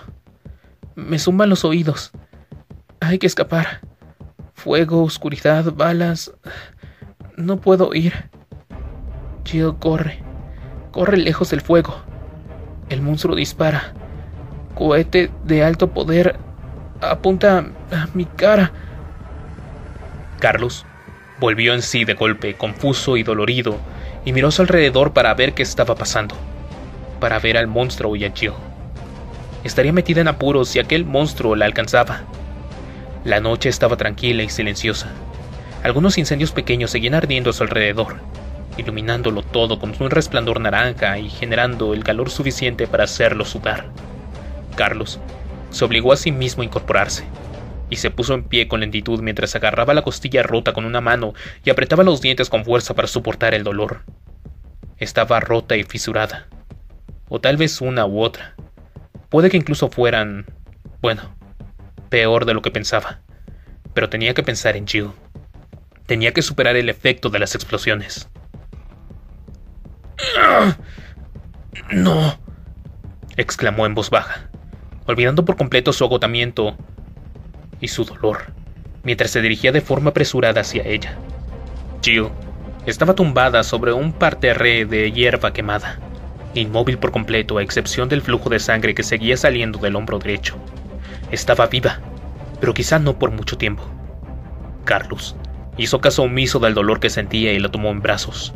El peso muerto le provocó el deseo de gritar de rabia por la locura que había crecido y se había instalado en Raccoon City, que había su ley misericordia en Jill y en él. Umbrella, monstruos, espías e incluso Trent, todo aquello no era más que una pesadilla de locura, aunque la sangre era muy real. La apretó contra su pecho y giró sobre sí mismo buscando un refugio. Tenía que ponerla cubierto a salvo, en algún sitio donde pudiera curar o vendar sus heridas, donde los dos pudieran descansar un poco. Se fijó en la capilla del ala occidental de la torre del reloj, que seguía casi intacta. No había ventanas y las puertas tenían unos buenos cerrojos. No te mueras, Jill, murmuró Carlos y deseó que pudiera oírlo mientras atravesaban el patio en llamas. No te atrevas a morir. Capítulo 20 El tiempo pasaba, oscuridad y oscuridad y fragmentos de un millar de sueños que podían verse con claridad un instante antes de desvanecerse de nuevo. Era una niña que estaba en la playa con su padre. El sabor de la sal estaba en el aire. Era una joven desgarbada y torpemente enamorada por primera vez. Una ladrona que robaba a los ricos, tal como le había enseñado su padre un estudiante que entrenaba con los Stars y que aprendió a utilizar sus habilidades para ayudar a las personas. Más oscuro, el día que su padre había sido encarcelado por robo. Amantes a los que había traicionado o que la habían traicionado. Sentimientos de soledad y por fin, su vida en Raccoon City. La misma muerte de la luz. Becky y Priscilla McGee, de 7 y 9 años, las primeras víctimas destripadas y devoradas en parte descubrir el helicóptero del equipo Bravo estrellado cerca de la mansión Spencer, el olor dentro del edificio a polvo y a pobredumbre, enterarse de la conspiración de Umbrella y de la corrupción y traición de algunos miembros de los Stars, la muerte del jefe del equipo Albert Wesker, un traidor, y el ataque final de Nemesis. Bebí agua fresca bastantes veces, medio despierta, y volví a dormirse mientras los recuerdos más recientes tomaban el control los supervivientes perdidos, la gente a la que había intentado salvar, sobre todo las caras de los niños. Todos ellos muertos. La muerte brutal de Brad Vickers, Carlos, la mirada fría y vacía de sentimientos de Nikolai y el sacrificio de Mikhail. Y reinando por encima de todo aquello, como el ejemplo perfecto de la maldad, el monstruo Tyrant, perfeccionado, el Némesis, su aullido terrible llamándola, sus ojos terribles buscándola donde quiera que fuese, hiciera lo que hiciera. Sin embargo, lo que más le inquietaba era que algo le estaba ocurriendo. Era una sensación distante, porque le estaba pasando a su cuerpo y estaba muy dormida. Pero no por ello era menos desagradable. Le parecía que las venas y las arterias estaban calentándose y ensanchándose, como si todas y cada una de sus células se encordase y se llenase de especias extrañas, y se pegase a los alrededores para hervir a fuego lento toda, todo su sistema nervioso como si todo su cuerpo fuera un envase y estuviera repleto de calor húmedo en movimiento. Al final, el suave sonido de las gotas de lluvia que caían repicó en los bordes de su conciencia y deseó verla, sentir su frescura sobre la piel, pero salir de aquella oscuridad era un esfuerzo largo y agotador. Su cuerpo no quería, y protestó cada vez con mayor fuerza a medida que ella se acercaba más y más a la superficie gris, a la zona de penumbra situada entre la lluvia y los sueños. Pero Jill estaba decidida y logró salir. Abrió los ojos después de decidir que quería seguir viviendo. Capítulo 21 Carlos estaba sentado recostado contra la puerta y comiendo una lata de fruta en conserva, cuando vio a Jill agitarse un poco. El sonido pesado y rítmico de su profunda respiración se hizo más leve. Giró su cabeza de un lado a otro, todavía dormida, pero aquel movimiento había sido la acción más deliberada que la había visto hacer en cuarenta y ocho horas. Se puso en pie con toda la rapidez que pudo, pero se vio obligado a ir con cuidado debido al pinchazón de dolor que sintió en las costillas antes de acercarse al altar donde la había dejado tumbada. Carlos se agachó para recoger una botella de agua que había en la base del altar y ella, irguiéndose, abrió los ojos. Jill, Voy a darte un poco de agua. Intenta ayudarme, ¿quieres? Ella sintió. Y Carlos se sintió henchido de alivio. Le sostuvo la cabeza mientras bebía unos cuantos tragos de agua de la botella. Era la primera vez que había respondido con claridad a algo, y tenía buen color.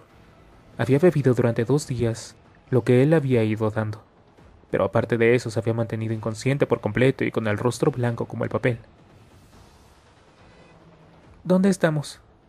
preguntó con voz débil, y cerró los ojos mientras dejaba caer la cabeza en la almohada improvisada, un trozo de alfombra enrollado sobre sí mismo.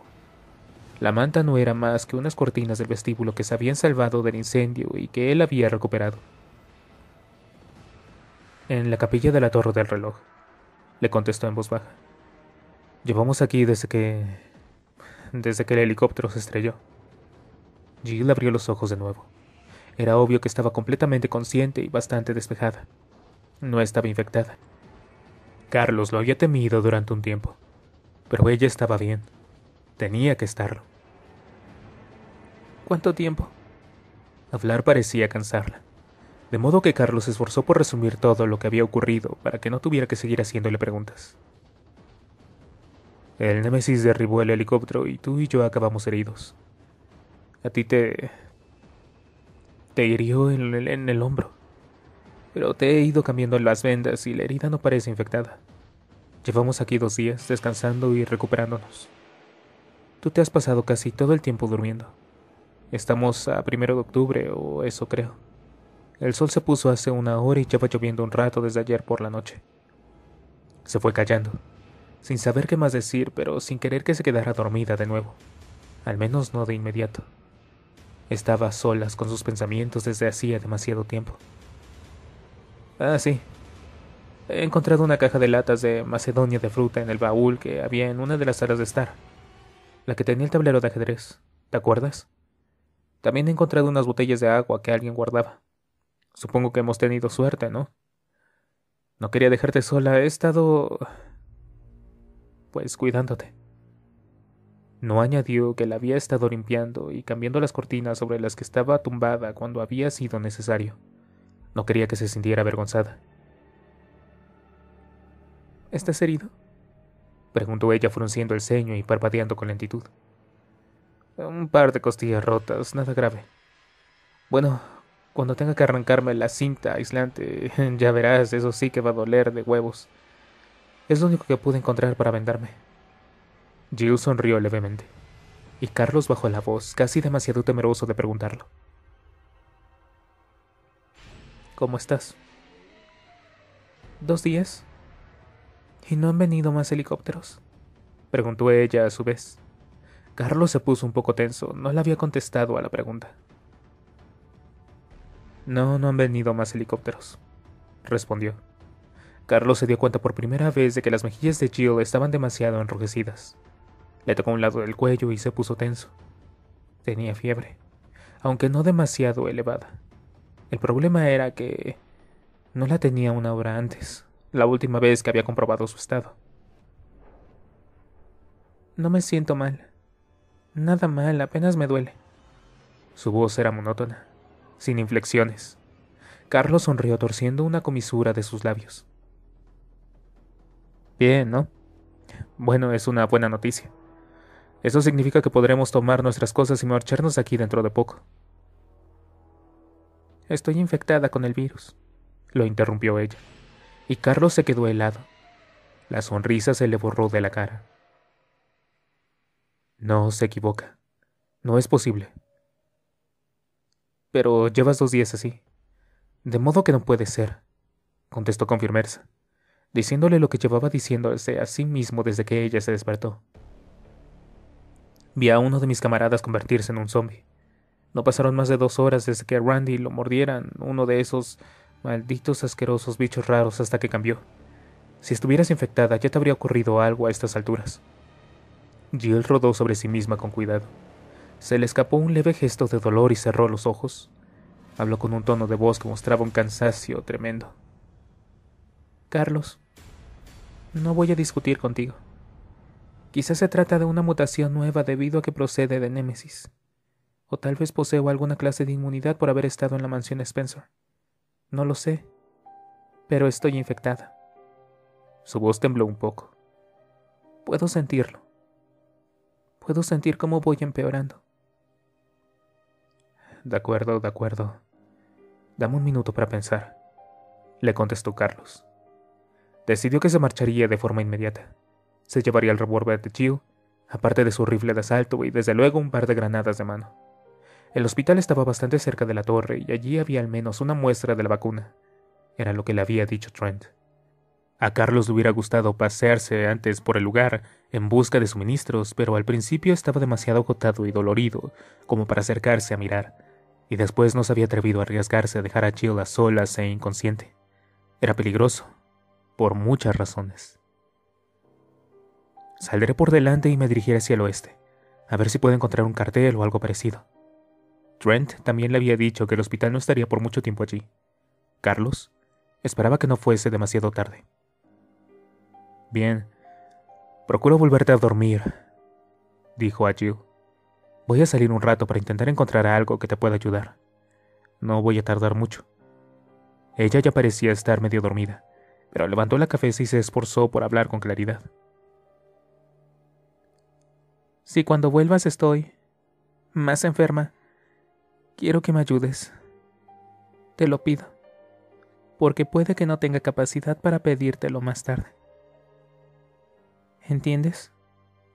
Carlos quiso contestar, protestar, pero sabía que él habría pedido lo mismo si estuviera infectado en aquel lugar de ese maldito, maldito virus. Morir era una jodidez pero Raccoon City le había demostrado que había cosas peores, como tener que pegarle un tiro a alguien al que. Bien, te entiendo, contestó. Ahora descansa, volveré dentro de poco, ¿quieres? Jill se durmió y Carlos empezó a recoger el equipo que necesitaba. Miró a la chica justo antes de marcharse y se quedó observando su rostro durante un largo rato. Rezó en silencio para que todavía siguiera siendo Jill cuando volviera. El hospital estaba mucho más cerca de lo que creía, tan solo a dos manzanas de la torre del reloj. Nikolai esperó con impaciencia a Ken Franklin. Sabía que la muerte de aquel perro guardián marcaría el comienzo de la partida final. La creciente frustración de Nikolai se acabaría por fin. Si el cafrón aparece de nuevo. No, seguro que llegaba. y Nikolai estaría en marcha de nuevo. Echó un vistazo por una ventana de la esquina de la oficina que había escogido, y quedaba la calle vacía a oscuras. Por décima vez en otros tantos minutos, también era su ruta de escape por si el sargento representaba más problemas de los que preveía. Deseaba que su oponente se diera prisa y apareciera de una vez. Nada había salido tal como él lo había planeado, y aunque Nikolai procuró aprovechar el tiempo, estaba comenzando a perder la paciencia. La búsqueda de Davis Chan había sido infructuosa hasta un extremo increíble. Ni siquiera lo había visto de refilón durante los dos días que llevaba en la ciudad. Además, el esquivo soldado había conseguido evitar el enfrentamiento después de enviar otros dos informes y lo había hecho correr por toda la ciudad. Nikolai también había planeado dirigirse a primera hora del día a las instalaciones para la depuración de aguas y librarse de una vez por todas de Terence Foster, cerca del edificio. Pero se enfrascó en otra persecución inútil y sin resultado. Había visto a una mujer cerca de ese edificio de la comisaría de Raccoon City. Se trataba de una chica de rasgos asiáticos vestida con un traje rojo ceñido sin mangas y que empuñaba una pistola como si supiese utilizarla muy bien. Se había metido en un edificio y había desaparecido. Nicolai le estuvo buscando durante casi cuatro horas, pero no volvió a ver a aquella mujer misteriosa. Así pues, sus tres objetivos seguían todavía con vida. Al menos, consiguió obtener información interesante para la operación. Había descubierto un par de informes secretos de los laboratorios sobre la fuerza media de los zombies. Sin embargo, ya estaba harto. Harto de comer judías frías de lata. Harto de dormir con un ojo abierto. Harto de jugar a ser el gran cazador. Llevaba la cuenta. Había matado a cuatro cazadores de la clase Beta, a tres arañas gigantes y a tres chupacerebros. O lickers, como también se les refería. Bueno, aparte de decenas de zombies, por supuesto. Pero esos no los contaba, ya que no creía que mereciera la pena hacerlo. Al menos ya no. Cada vez eran más lentos y más asquerosos. Raccoon City ya olía como un pozo séptico gigante, y la situación iba a empeorar en ese sentido mientras los portadores del virus continuasen pudriéndose hasta convertirse en grandes montones de restos semisólidos de hedor iniguantable.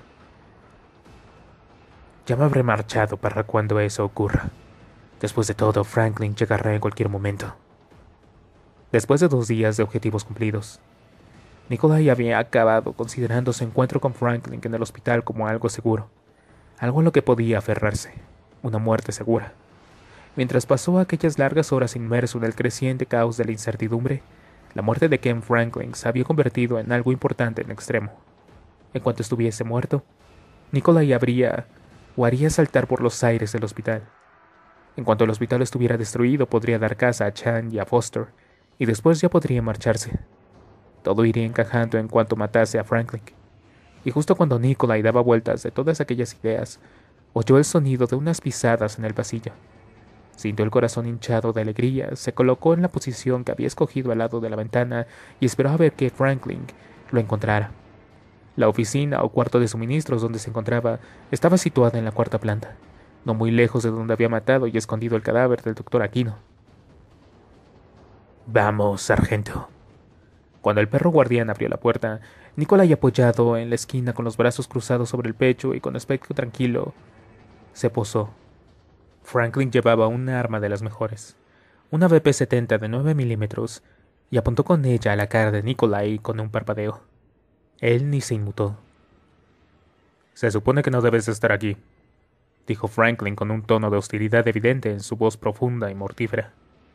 Se adentró un poco más a la estancia sin dejar de mirar y de apuntar con la pistola semiautomática a Nikolai. Ya va siendo hora de que descubra quién es más listo. Cualquiera podía preparar una emboscada, pero hacía falta mucha inteligencia y habilidad para lograr que el oponente entrara en ella de buen grado. Nikolai fingió un leve nerviosismo hosco. Sí, tienes razón, no debería de estar aquí. Es Aquino quien debería de estar, pero dejó de enviar informes ayer. Pensaron que estaría demasiado ocupado trabajando con la vacuna antiviral, pero llevo buscándolo desde anoche y no lo he visto por ningún lado. Lo cierto era que Nikolai había estado enviando informes con el hombre del doctor Aquino desde que lo había matado para así asegurar que guardaría las apariencias. ¿Quién eres? preguntó Franklin. Era un individuo alto y de musculatura fuerte, con una piel bastante oscura. Llevaba puestas unas gafas de montura de alambre de aspecto delicado. Sin embargo, no había nada delicado en la forma en que miraba a Nikolai. Este Descruzó los brazos y luego los bajó con mucha lentitud. Nikolai Shinovaev, VSS y un perro guardián. Me enviaron para que comprobara la situación cuando el doctor dejó de dar señales de vida. Tú eres Franklin, ¿verdad? ¿Has tenido algún contacto con Aquino desde que llegaste? ¿Te habló de cómo iba a guardar en su lugar seguro la muestra? ¿Te dio alguna clase de combinación de la llave? Franklin no bajó el arma, pero era evidente que se sentía un poco confundido. Nadie me ha dicho nada sobre un cambio de planes. ¿Quién dices que te envía? Aquella parte era todo un riesgo. Nikolai conocía los nombres de cuatro individuos con la importancia suficiente dentro de la organización de Umbrella para efectuar cambios en los planes, y lo más probable era que uno de ellos fuera el contacto de Franklin, y que ya lo habría informado. No lo he dicho todavía, contestó Nikolai. Bueno, supongo que no importa que te lo diga. Fue Trenk quien me llamó para esto.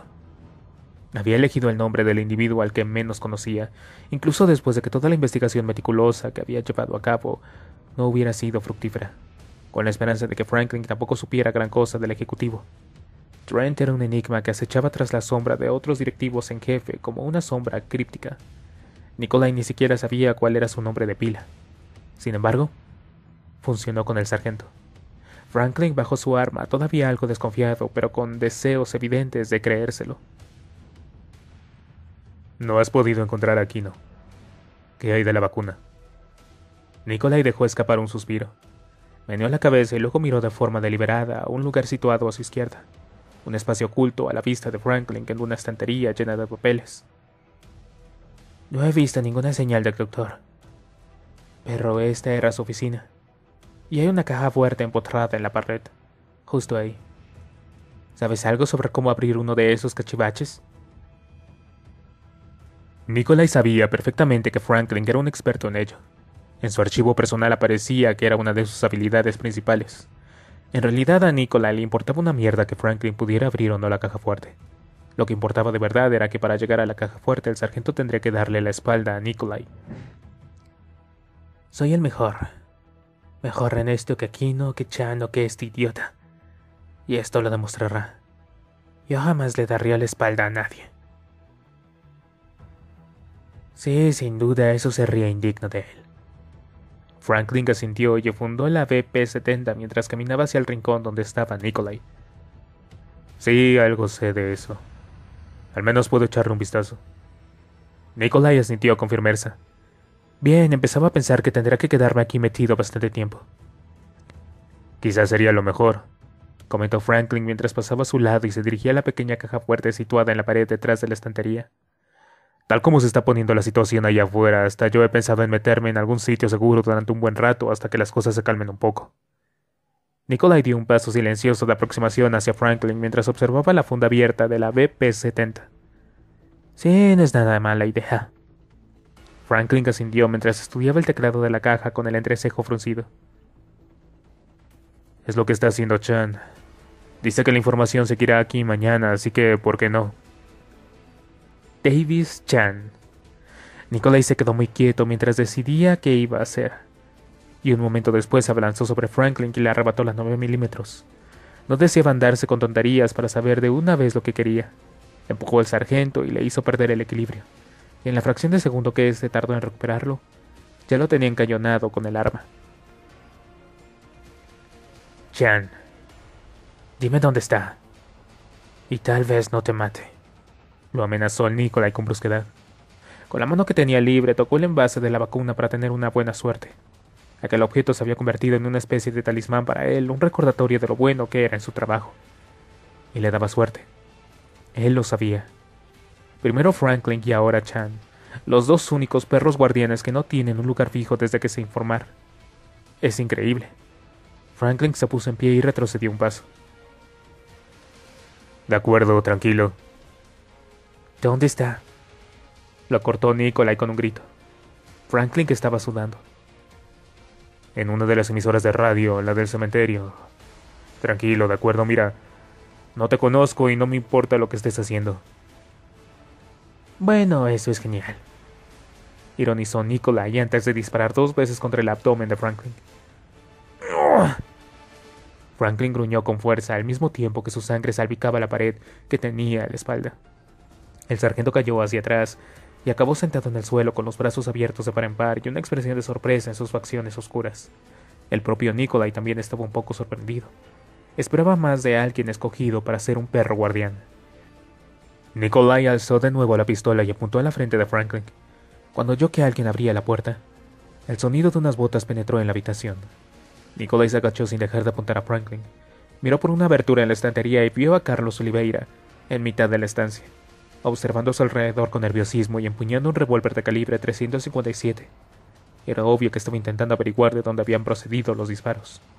Era un regalo del destino. Nicolai salió de su escondite y apuntó contra el rostro de expresión sorprendida de Carlos, antes de que éste se diera cuenta de que había alguien más en la oficina. Sorpresa, sorpresa, susurró Nikolai. Capítulo 22 Nikolai lo había pillado. Eso no cabía ninguna duda. Carlos dejó caer el revólver y puso las manos en alto. Tenía que ganar algo de tiempo. Háblale de Jill, dile algo que le llame la atención. Jill necesita que regrese, con o sin la vacuna. ¿Qué tal, idiota? dijo Carlos con despreocupación aparente. Me preguntaba si iba a verte otra vez después de que nuestro viaje fuera de la ciudad acabara jodido. Nos atacó un monstruo, te lo creas o no. Bueno, ¿y tú qué? ¿Has matado algo interesante últimamente? El sonido de alguien que gemía de dolor le llegó desde la parte posterior de una estantería que sobresalía de la pared. Nicolai no apartó la vista, y Carlos se dio cuenta de que había escogido el tema adecuado. El ruso se sentía confiado, irritado e intrigado. Bueno, estoy a punto de matarte. Así que no. No he matado nada interesante de verdad. Dime. ¿Mikhail ha muerto ya? ¿Y cómo está esa zorra que tienes por amiga, la señorita Valentine? Carlos se lo quedó mirando fijamente. Sí, bueno, los dos murieron. Mikael murió en el tranvía y Jill quedó infectada con el virus. Tuve... Tuve que acabar con ella hace un par de horas. Lo más probable era que no sobreviviera a aquel encuentro con Nikolai, y no quería que aquel cabrón fuera por Jill. Cambió con rapidez de tema. Fuiste tú el que le disparó a Mikael, ¿verdad? Sí, sí, fui yo contestó Nikolai con ojos chispeantes de alegría. Metió una mano en uno de los bolsillos frontales y sacó lo que parecía un envase metálico tubular para puros. Y como si fuera cosa del destino, aquí tienes lo que hubiera salvado la vida de tu amiga. Si hubieras venido antes, en cierto modo, supongo que puedes decir que soy el responsable de esas dos muertes. ¿No crees? La muestra. Lo único que podía curar a Jill y salvarle la vida. Y resultaba que este Carlos, estaba a merced del loco que tenía ese remedio en las manos. Ah, vamos, piensa en algo, piensa. Se oyó otro gruñido de dolor procedente de detrás de la estantería. Carlos inclinó la cabeza hacia un lado y vio a un hombre tirado contra la esquina trasera de la estancia, visible justo entre dos pilas de archivos. No pudo verle la cara, pero la parte inferior del cuerpo del individuo estaba empapada de sangre. Y con ese tipo ya son tres, ¿no? Comentó Carlos, en un intento desesperado por mantener la conversación mientras se esforzaba por no mirar el contenedor plateado que Nikolai tenía en la mano. ¿De verdad vas por todas las muertes? Dime. ¿Todo esto tiene una finalidad o lo que pasa es que te gusta simplemente matar gente? Mm, me gusta matar gente. Que es tan inútil como tú, contestó Nikolai mientras metía de nuevo la vacuna en el bolsillo.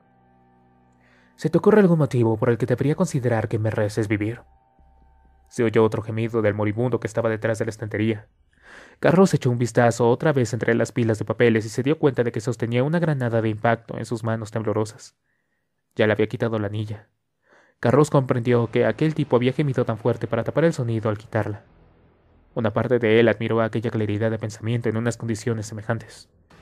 Todo ello ocurrió en un instante y Carlos comenzó a retroceder con las manos todavía en alto. La granada era una RG-34, del mismo tipo que la que él llevaba metida en el chaleco y quería alejarse todo lo posible. Bien, hazlo con naturalidad. Que no sospeche. Mira, soy un tirador excelente. Tengo un carácter bondadoso y me cepillo los dientes todos los días.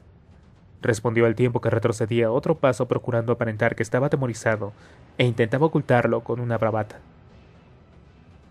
Va a ser todo un desperdicio, dijo Nicolai sonriendo y extendiendo el brazo para apuntar mejor. ¡Ya tira la puta granada! ¿Pero por qué? preguntó Carlos. ¿Por qué estás haciendo todo esto? La sonrisa de Nicolai se ensanchó de oreja a oreja con el mismo gesto de depredador que Carlos había visto en el helicóptero de transporte, en lo que le parecía hacía ya un millón de años. Verás, poseo las cualidades necesarias para el liderazgo, le contestó, y Carlos pudo ver por primera vez el destello de locura que anidaba en sus ojos oscuros. Eso es lo único que necesitas saber. Se oyó un pequeño grito que empezaba con un leve gesto, pero que terminaba con la frase muere. Carlos distinguió un leve movimiento detrás de la estantería y una fracción de segundo después ya estaba saltando de lado en un intento por ponerse a cubierto detrás de una mesa al mismo tiempo que se oía el ruido de una ventana al romperse. ¡Bam! Las carpetas y los libros saltaron por los aires y una lluvia de restos, astillas de madera y trozos de papel y de metal cayeron sobre él mientras la pesada estantería, volcada, con un fuerte crujido, se desplomaba. Se estrelló contra el suelo con un estruendoso sonido tan tremendo y después todo quedó en silencio y cubierto de porquería. Carlos se incorporó hasta quedar sentado con un brazo agarrado, su costillar palpitante y los ojos llenos de lágrimas del dolor. Parpadeó varias veces para hacerlas caer y recogió el revólver del suelo antes de ponerse completamente en pie. Nicolai había desaparecido. Carlos abrió paso a patadas entre los restos para llegar hasta la esquina mientras recordaba que el sonido de la ventana rota se había producido antes de que estallara la granada. Fuera estaba oscuro y lluvioso. Pero Carlos pudo distinguir el tejado de un edificio adyacente a tan solo un piso por debajo. Bam, bam. Carlos metió la cabeza dentro de la estancia en cuanto dos disparos impactaron contra la pared exterior. El segundo de ellos a menos de un palmo de distancia de su cara. Se reprendió en silencio por asomar la cabeza por la ventana como si fuera un novato medio estúpido. Se apartó de la ventana y quedó cara a cara con los restos quemados y ensangrentados del individuo que había lanzado la granada. Ah, gracias, viejo, dijo Carlos en voz baja. Deseó que se le ocurriera algo más para expresar su agradecimiento, pero luego pensó que sería un gesto inútil. El tipo estaba muerto y no podía oírlo. Se dispuso a cruzar la habitación de nuevo pensando cómo iba a atrapar a Nikolai. No sería tarea fácil, pero no le quedaba más remedio. Justo en ese momento distinguió un destello metálico por el rabillo del ojo y se detuvo en seco. Parpadeó sintiendo algo parecido a un sobrecogimiento reverencial, cuando se dio cuenta de que era lo que estaba viendo. Lo recogió del suelo sintiendo que se le quitaba un peso enorme de los hombros y también del corazón. Lograría salvar a Jill. Aquel loco cabrón había dejado caer la vacuna. Nicolai se movió con rapidez debajo de la lluvia hacia la pared de la parte delantera del hospital. Todo va a estar bien. En cuanto apriete el botón adecuado, morirá. Yo tengo el control. Puedo desconectar la luz y atraparlo, pensó. De repente soltó una carcajada. Acababa de recordar los tubos de almacenamiento donde se encontraban encerrados los cazadores, los hunters de la clase gamma.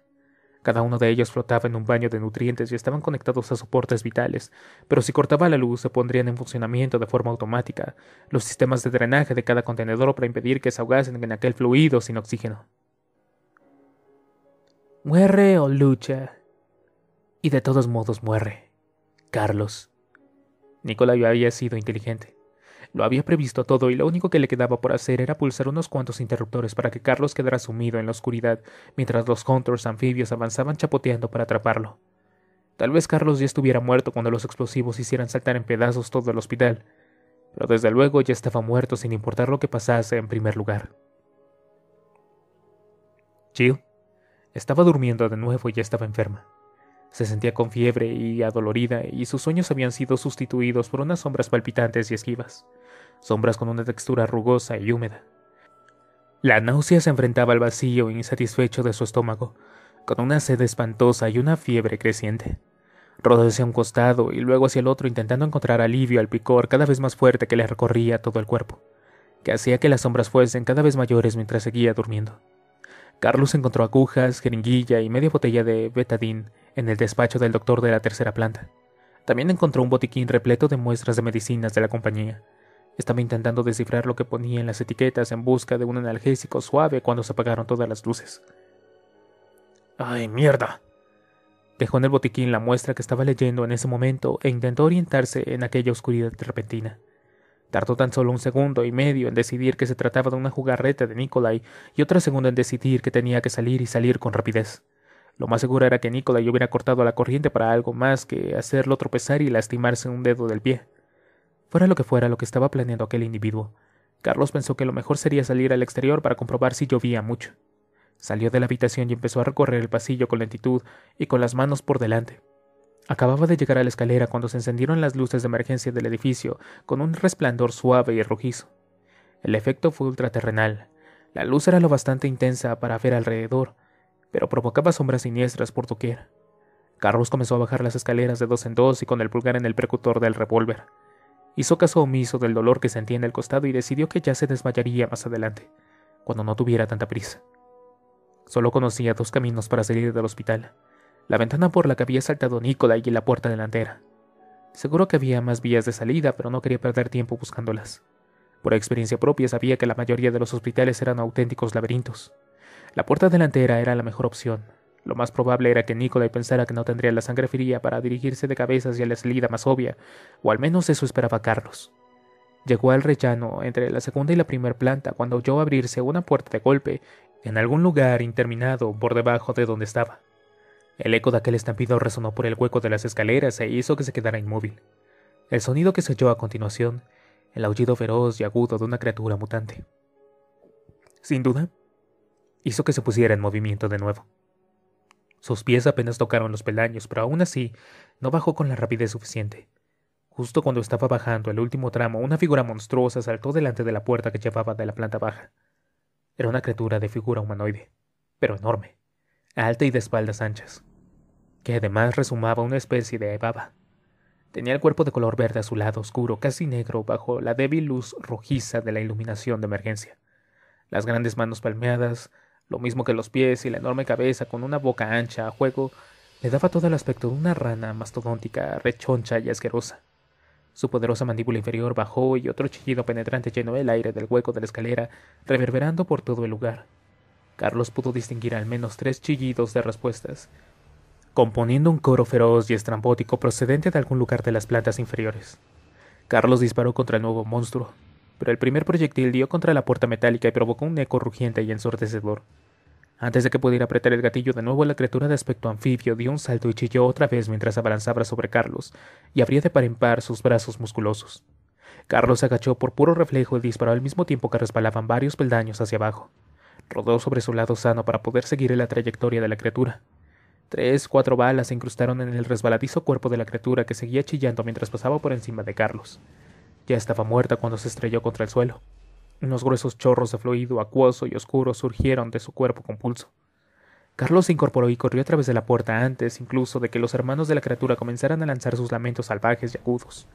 Quizá no era demasiado difícil matarlos, pero no quería tentar su suerte si eran tres o más de los que se abalanzaban sobre él a la vez. Entró en el vestíbulo y se giró por cerrar la puerta de su espalda, pero se dio cuenta de que hacía falta una llave para cerrarla del todo. Así que se dio la vuelta de nuevo y se puso a buscar algo para atracarla y lo que vio fue una pequeña luz blanca parpadeante al otro lado de la estancia.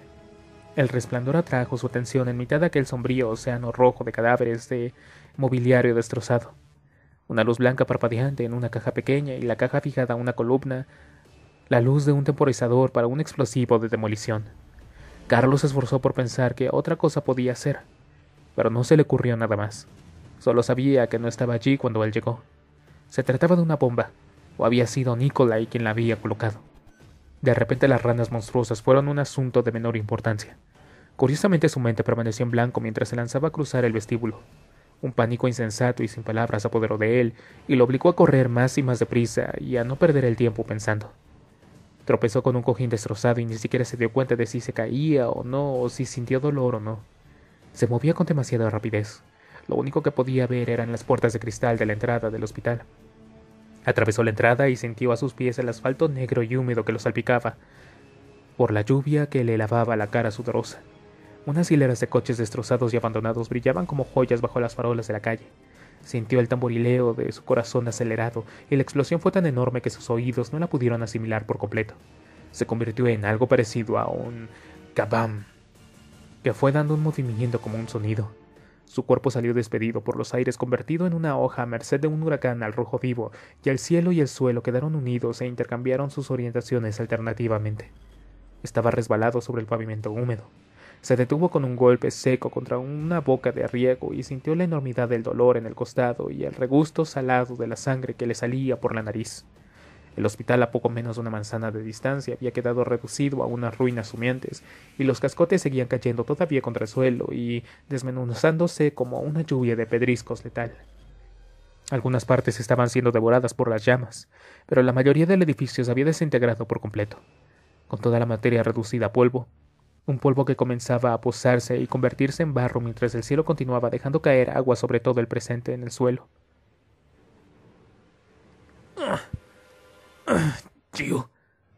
Carlos se esforzó por ponerse en pie y comenzó a regresar cojeando a la torre del reloj. Nicolai se dio cuenta de que había perdido la muestra de la vacuna mientras se dejaba corriendo a toda velocidad del hospital, cuando tan solo quedaba un minuto para que todo saltara por los aires, cuando ya era demasiado tarde. No le quedó más remedio que seguir corriendo, y eso hizo. Cuando el hospital estalló, Nicolai se puso a caminar calle arriba y abajo a tres manzanas de distancia, totalmente enfurecido. Tanto que no se dio cuenta de que el gemido frustrado y aullante que estaba oyendo era suyo, o que había apretado tanto la mandíbula que se había partido los dientes. Recordó después de un buen rato que todavía tenía que matar a dos personas más, y comenzó a tranquilizarse. Tener la posibilidad de expresar su rabia y su ira era positivo, no era bueno ni sano mantener encerrados los sentimientos dentro de uno. La operación Perro Guardián era su objetivo principal. La vacuna había sido un añadido, un regalo, de modo que en cierto modo no había perdido nada. Nikolai se dijo eso a sí mismo en el trayecto que lo llevaría hasta Davis Chan. Le hacía sentirse mejor, aunque no tan bien como cuando se acordó de que había afilado su cuchillo de caza justo antes de salir de la misión hacia Raccoon City. Estaba seguro de que Chan sabría apreciar aquello. Capítulo 23 Seguía lloviendo cuando Jill se despertó. Se sentía ella misma de nuevo, débil, sedienta y hambrienta, con un fuerte dolor en la herida del hombro y un millar de otros dolores menores. Pero ella misma. La enfermedad había desaparecido. Se incorporó con lentitud, desorientada y un poco confusa, y miró a su alrededor intentando comprender qué había ocurrido. Todavía se encontraba en la capilla de la torre del reloj y Carlos estaba tirado y profundamente dormido en uno de los bancos delanteros. Recordaba haberle dicho que tenía el virus, y que él le había contestado que salía a buscar algo. Pero yo estaba enferma. Tenía la infección y no es... No es que ahora me sienta mejor, es que ya no estoy enferma en absoluto. ¿Cómo es Po? Oh, Dios. Susurró al ver la jeringuilla y la ampolla vacía que había a su lado, ambas sobre el banco del órgano que estaba al lado del altar. Y de repente, comprendió lo que había ocurrido, aunque no cómo. Carlos había encontrado un antídoto. Jill se sentó, quedándose un momento un poco intranquila, abrumada por la mezcla de emociones que le embargaban. Asombro, gratitud y una cierta reticencia a creer que ya estuviera curada. Su felicidad por estar viva y encontrarse bien se veía atemperada por un sentimiento de culpabilidad. Ella estaba curada, cuando tantísimos otros habían muerto. Se preguntó si habría más dosis de aquel antídoto, pero descubrió que no podía pensar en ello demasiado. La sola idea de que existieran litros del vacuna en algún sitio y que hubieran muerto tantos miles de personas era algo horroroso. Por fin, bajó de su cama improvisada y se puso en pie. Se desperezó con cuidado y comprobó su estado físico. Se quedó sorprendida, si se tenía en cuenta por todo lo que había pasado, de lo bien que se encontraba. No tenía ninguna herida grave excepción de la del hombro y después de beber un poco de agua incluso se sintió con fuerzas y capaz de moverse sin problemas. Jill se comió tres latas de macedonia de fruta, bebió casi dos litros de agua y limpió y recargó todas las armas. También se limpió ella, todo lo que pudo con agua embotellada y una camiseta sucia. Carlos ni se movió en todo aquel rato. Estaba profundamente dormido y por el modo en que permanecía doblado sobre sí mismo, agarrándose el costado izquierdo, Jill pensó que quizá el viaje hasta el hospital había sido duro. También se decidió a pensar mucho en lo que le debía hacer a continuación. No podía quedarse allí. Ninguno de los dos.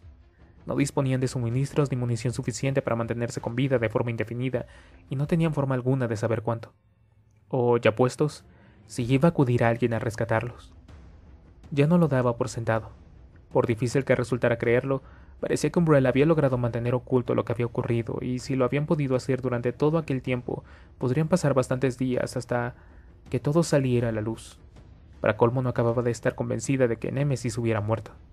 En cuanto se hubiera recuperado, volvería por ella. Había tenido muchísima suerte de que no los hubiera atacado todavía. Jill había estado planeando, antes de unirse a Carlos, dirigirse hacia la planta depuradora abandonada propiedad de Umbrella, que se encontraba al norte de la ciudad. Había acabado convencida de que Umbrella jamás abandonaba por completo ninguna instalación. Les gustaba demasiado sus operaciones secretas. Pensó que a lo mejor habían despejado las carreteras que rodeaban la instalación para permitir que sus empleados pudieran escapar. Todavía merecía la pena intentarlo. Y también era lo mejor que se le ocurría. Además, el camino más rápido para salir de la ciudad desde donde se encontraban era pasar por la depuradora de agua. Carlos seguía durmiendo, inmóvil por completo, a excepción del lento y pausado subir y bajar de su pecho al respirar. Tenía el rostro plácido por el acotamiento y en cuanto decidió lo que debía hacer, se lo quedó mirando durante un breve rato y se dio cuenta de que debería dejarlo allí. Fue una decisión muy difícil de tomar, pero solo porque no quería estar sola lo que era algo egoísta de su parte. Lo cierto era que estaba herido porque se había interpuesto entre ella y Némesis, y no podía permitir que se pusiera en semejante peligro de nuevo. Iré a echar un vistazo a la planta depuradora. Tal vez hasta encuentre una radio y podamos pedir ayuda. Si todo parece estar en orden, que es en esta situación segura, regresaré por él. Si la cosa pinta mal, bueno, supongo que regresaré si puedo. La planta estaba a menos de dos kilómetros, si no recordaba mal, y podía llegar hasta allí si cortaba por Memorial Park, que estaba justo detrás de la torre del reloj. Era un trayecto muy corto. Solo eran las dos de la madrugada, así que podría ir y volver antes de que amaneciese. Con un poco de suerte, Carlos todavía estaría dormido cuando ella regresara, tal vez con buenas noticias. Decidió dejarle una nota por si acaso le pasaba algo. Así al menos sabría la ruta que debía seguir. No pudo encontrar ni un lápiz ni un bolígrafo, pero descubrió una máquina de escribir manual debajo de una pila de libros de himnos. Utilizó la parte posterior de una etiqueta de lata de Macedonia de fruta para escribir en ella. El suave chasquido de las teclas la relajó tanto como el sonido de las gotas de lluvia que continuaban cayendo sobre el tejado. Eran unos sonidos que la hacían sentirse contenta de estar viva. Se llevó el lanzagranadas con ella, aunque tan solo le quedaba un proyectil. Carlos debía encontrar el que se le había caído en el patio. No había olvidado el daño que era capaz de infligirle aquella arma al asesino de Stars. También se llevó la vereta, pero le dejó el revólver a Carlos por si necesitaba un poco más de potencia de fuego de la que tenía el rifle de asalto. Jill dejó la nota en el altar, donde Carlos pudiera verla cuando se despertara. Se agachó a su lado y le tocó la frente.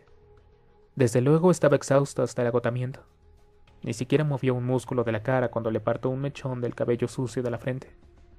Se preguntó cómo podría agradecerle todo lo que había hecho por ella. Duerme bien, susurró, y se puso en pie antes de cambiar de opinión. Se dio media vuelta y se apresuró a salir sin mirar atrás. Había una cabaña detrás del pequeño cementerio que se encontraba en Memorial Park, que en teoría se utilizaba para guardar herramientas. En realidad, Umbrella la usaba para albergar una de las diversas instalaciones receptoras preparadas para actuar durante la crisis de Raccoon City. Se trataba de una especie de lugar de descanso para los agentes, y todas las estaciones se encontraban en un lugar apartado donde se podían organizar los archivos e informes sin que nadie los viera y recibir datos de Umbrella, sino disponiendo un acceso inmediato a un ordenador con modem. Nikolai no había planeado pasarse por ninguna de las estaciones receptoras. Opinaba que era un riesgo innecesario por parte de Umbrella, aunque estuvieran tan bien escondidas. La de la cabaña del cementerio se encontraba detrás de una pared falsa. Umbrella no quería que nadie detectase señales procedentes de la ciudad, por lo que los aparatos de radio solo podían percibir o recibir señales. Era otra precaución, pero Nikolai sabía que eran demasiado peligrosas. Si quisiese atrapar a uno de los agentes, solo tendría que vigilar cualquiera de las estaciones de recepción. O si quisieran matarlo. Aunque en este caso tan solo tengo que entrar, pensó, o esperar un poco. Estaba bajo la sombra de un monumento de gran tamaño a pocos metros de la cabaña y pensaba en lo bueno que iba a ser matar al capitán Chan. Nikolai había pensado en cargar a través de la puerta oculta y ponerse a disparar hasta acribillarlo, pero necesitaba relajarse, lograr un estado mental más adecuado. Chan saldría más tarde que temprano a echar un pitillo al retrete. Y al permitir que su ansia creciera, Nikolai era capaz de eliminar algunas de sus emociones más desagradables. No lo hacía a menudo. No se trataba de que estuviera loco ni nada parecido, y lo habitual era que prefería las situaciones que estuvieran en marcha, pero a veces saborear el suspenso anterior a un asesinato era justo lo que necesitaba para salir de un estado de moral baja. Nikolai siguió vigilando la puerta, en realidad una esquina con bisagras de la propia cabaña mientras disfrutaba de la fresca lluvia, aunque sabía que más tarde se sentiría incómodo al tener que andar con las ropas empapadas. Iba a quitarle la vida a alguien. La situación estuvo un poco fuera de control durante un tiempo, cuando se percató de que había perdido la vacuna, pero ¿quién tenía todo controlado en esos momentos?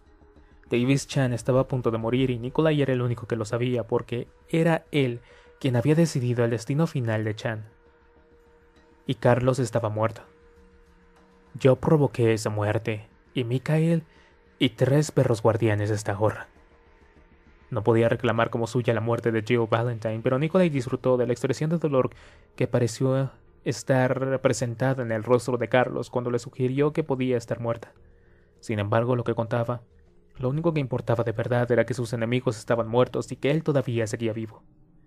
Cuando Davis Chan salió bajo la lluvia unos instantes después, Nikolai ya había conseguido librarse de la mayoría de sus sentimientos negativos de autocompasión y de frustración.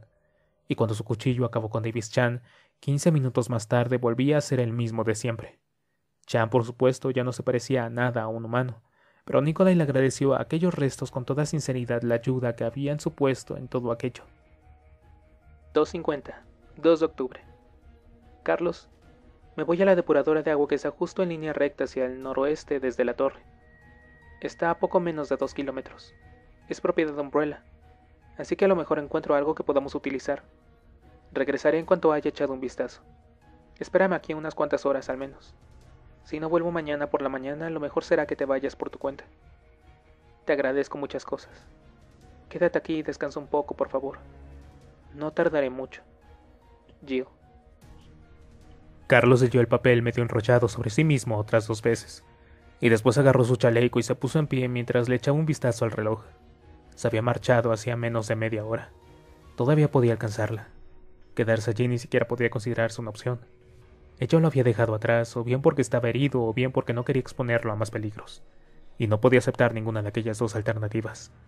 Además, no había tenido ocasión de contarle lo que Trent le había dicho sobre la existencia de helicópteros en una instalación de Umbrella situada al noroeste de la ciudad, pero al nordeste de donde se encontraban en aquellos momentos, después del viaje en tranvía era obvio que se trataba del mismo sitio.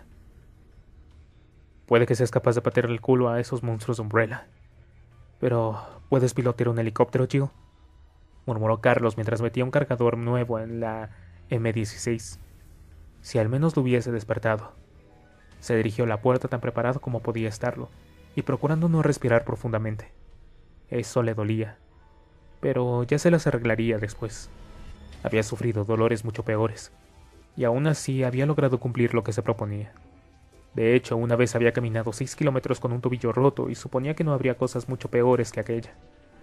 Carlos no perdió el tiempo intentando convencerse de que el motivo que tenía para seguirla era compartir la información que le había proporcionado Trent. Se trataba de que era incapaz de quedarse allí quieto esperando sin hacer nada. Eso era todo. Ella intentó protegerlo y él apreciaba aquel detalle, pero no podía quedarse allí y Nikolai todavía estaba allá afuera, y ella no lo sabía. De repente se sintió enfermo al recordar el brillo de locura de los ojos de Nikolai. Carlos apresuró a salir de la capilla y empezó a trotar bajo la lluvia, alumbrado por la luna. Tenía que encontrarla.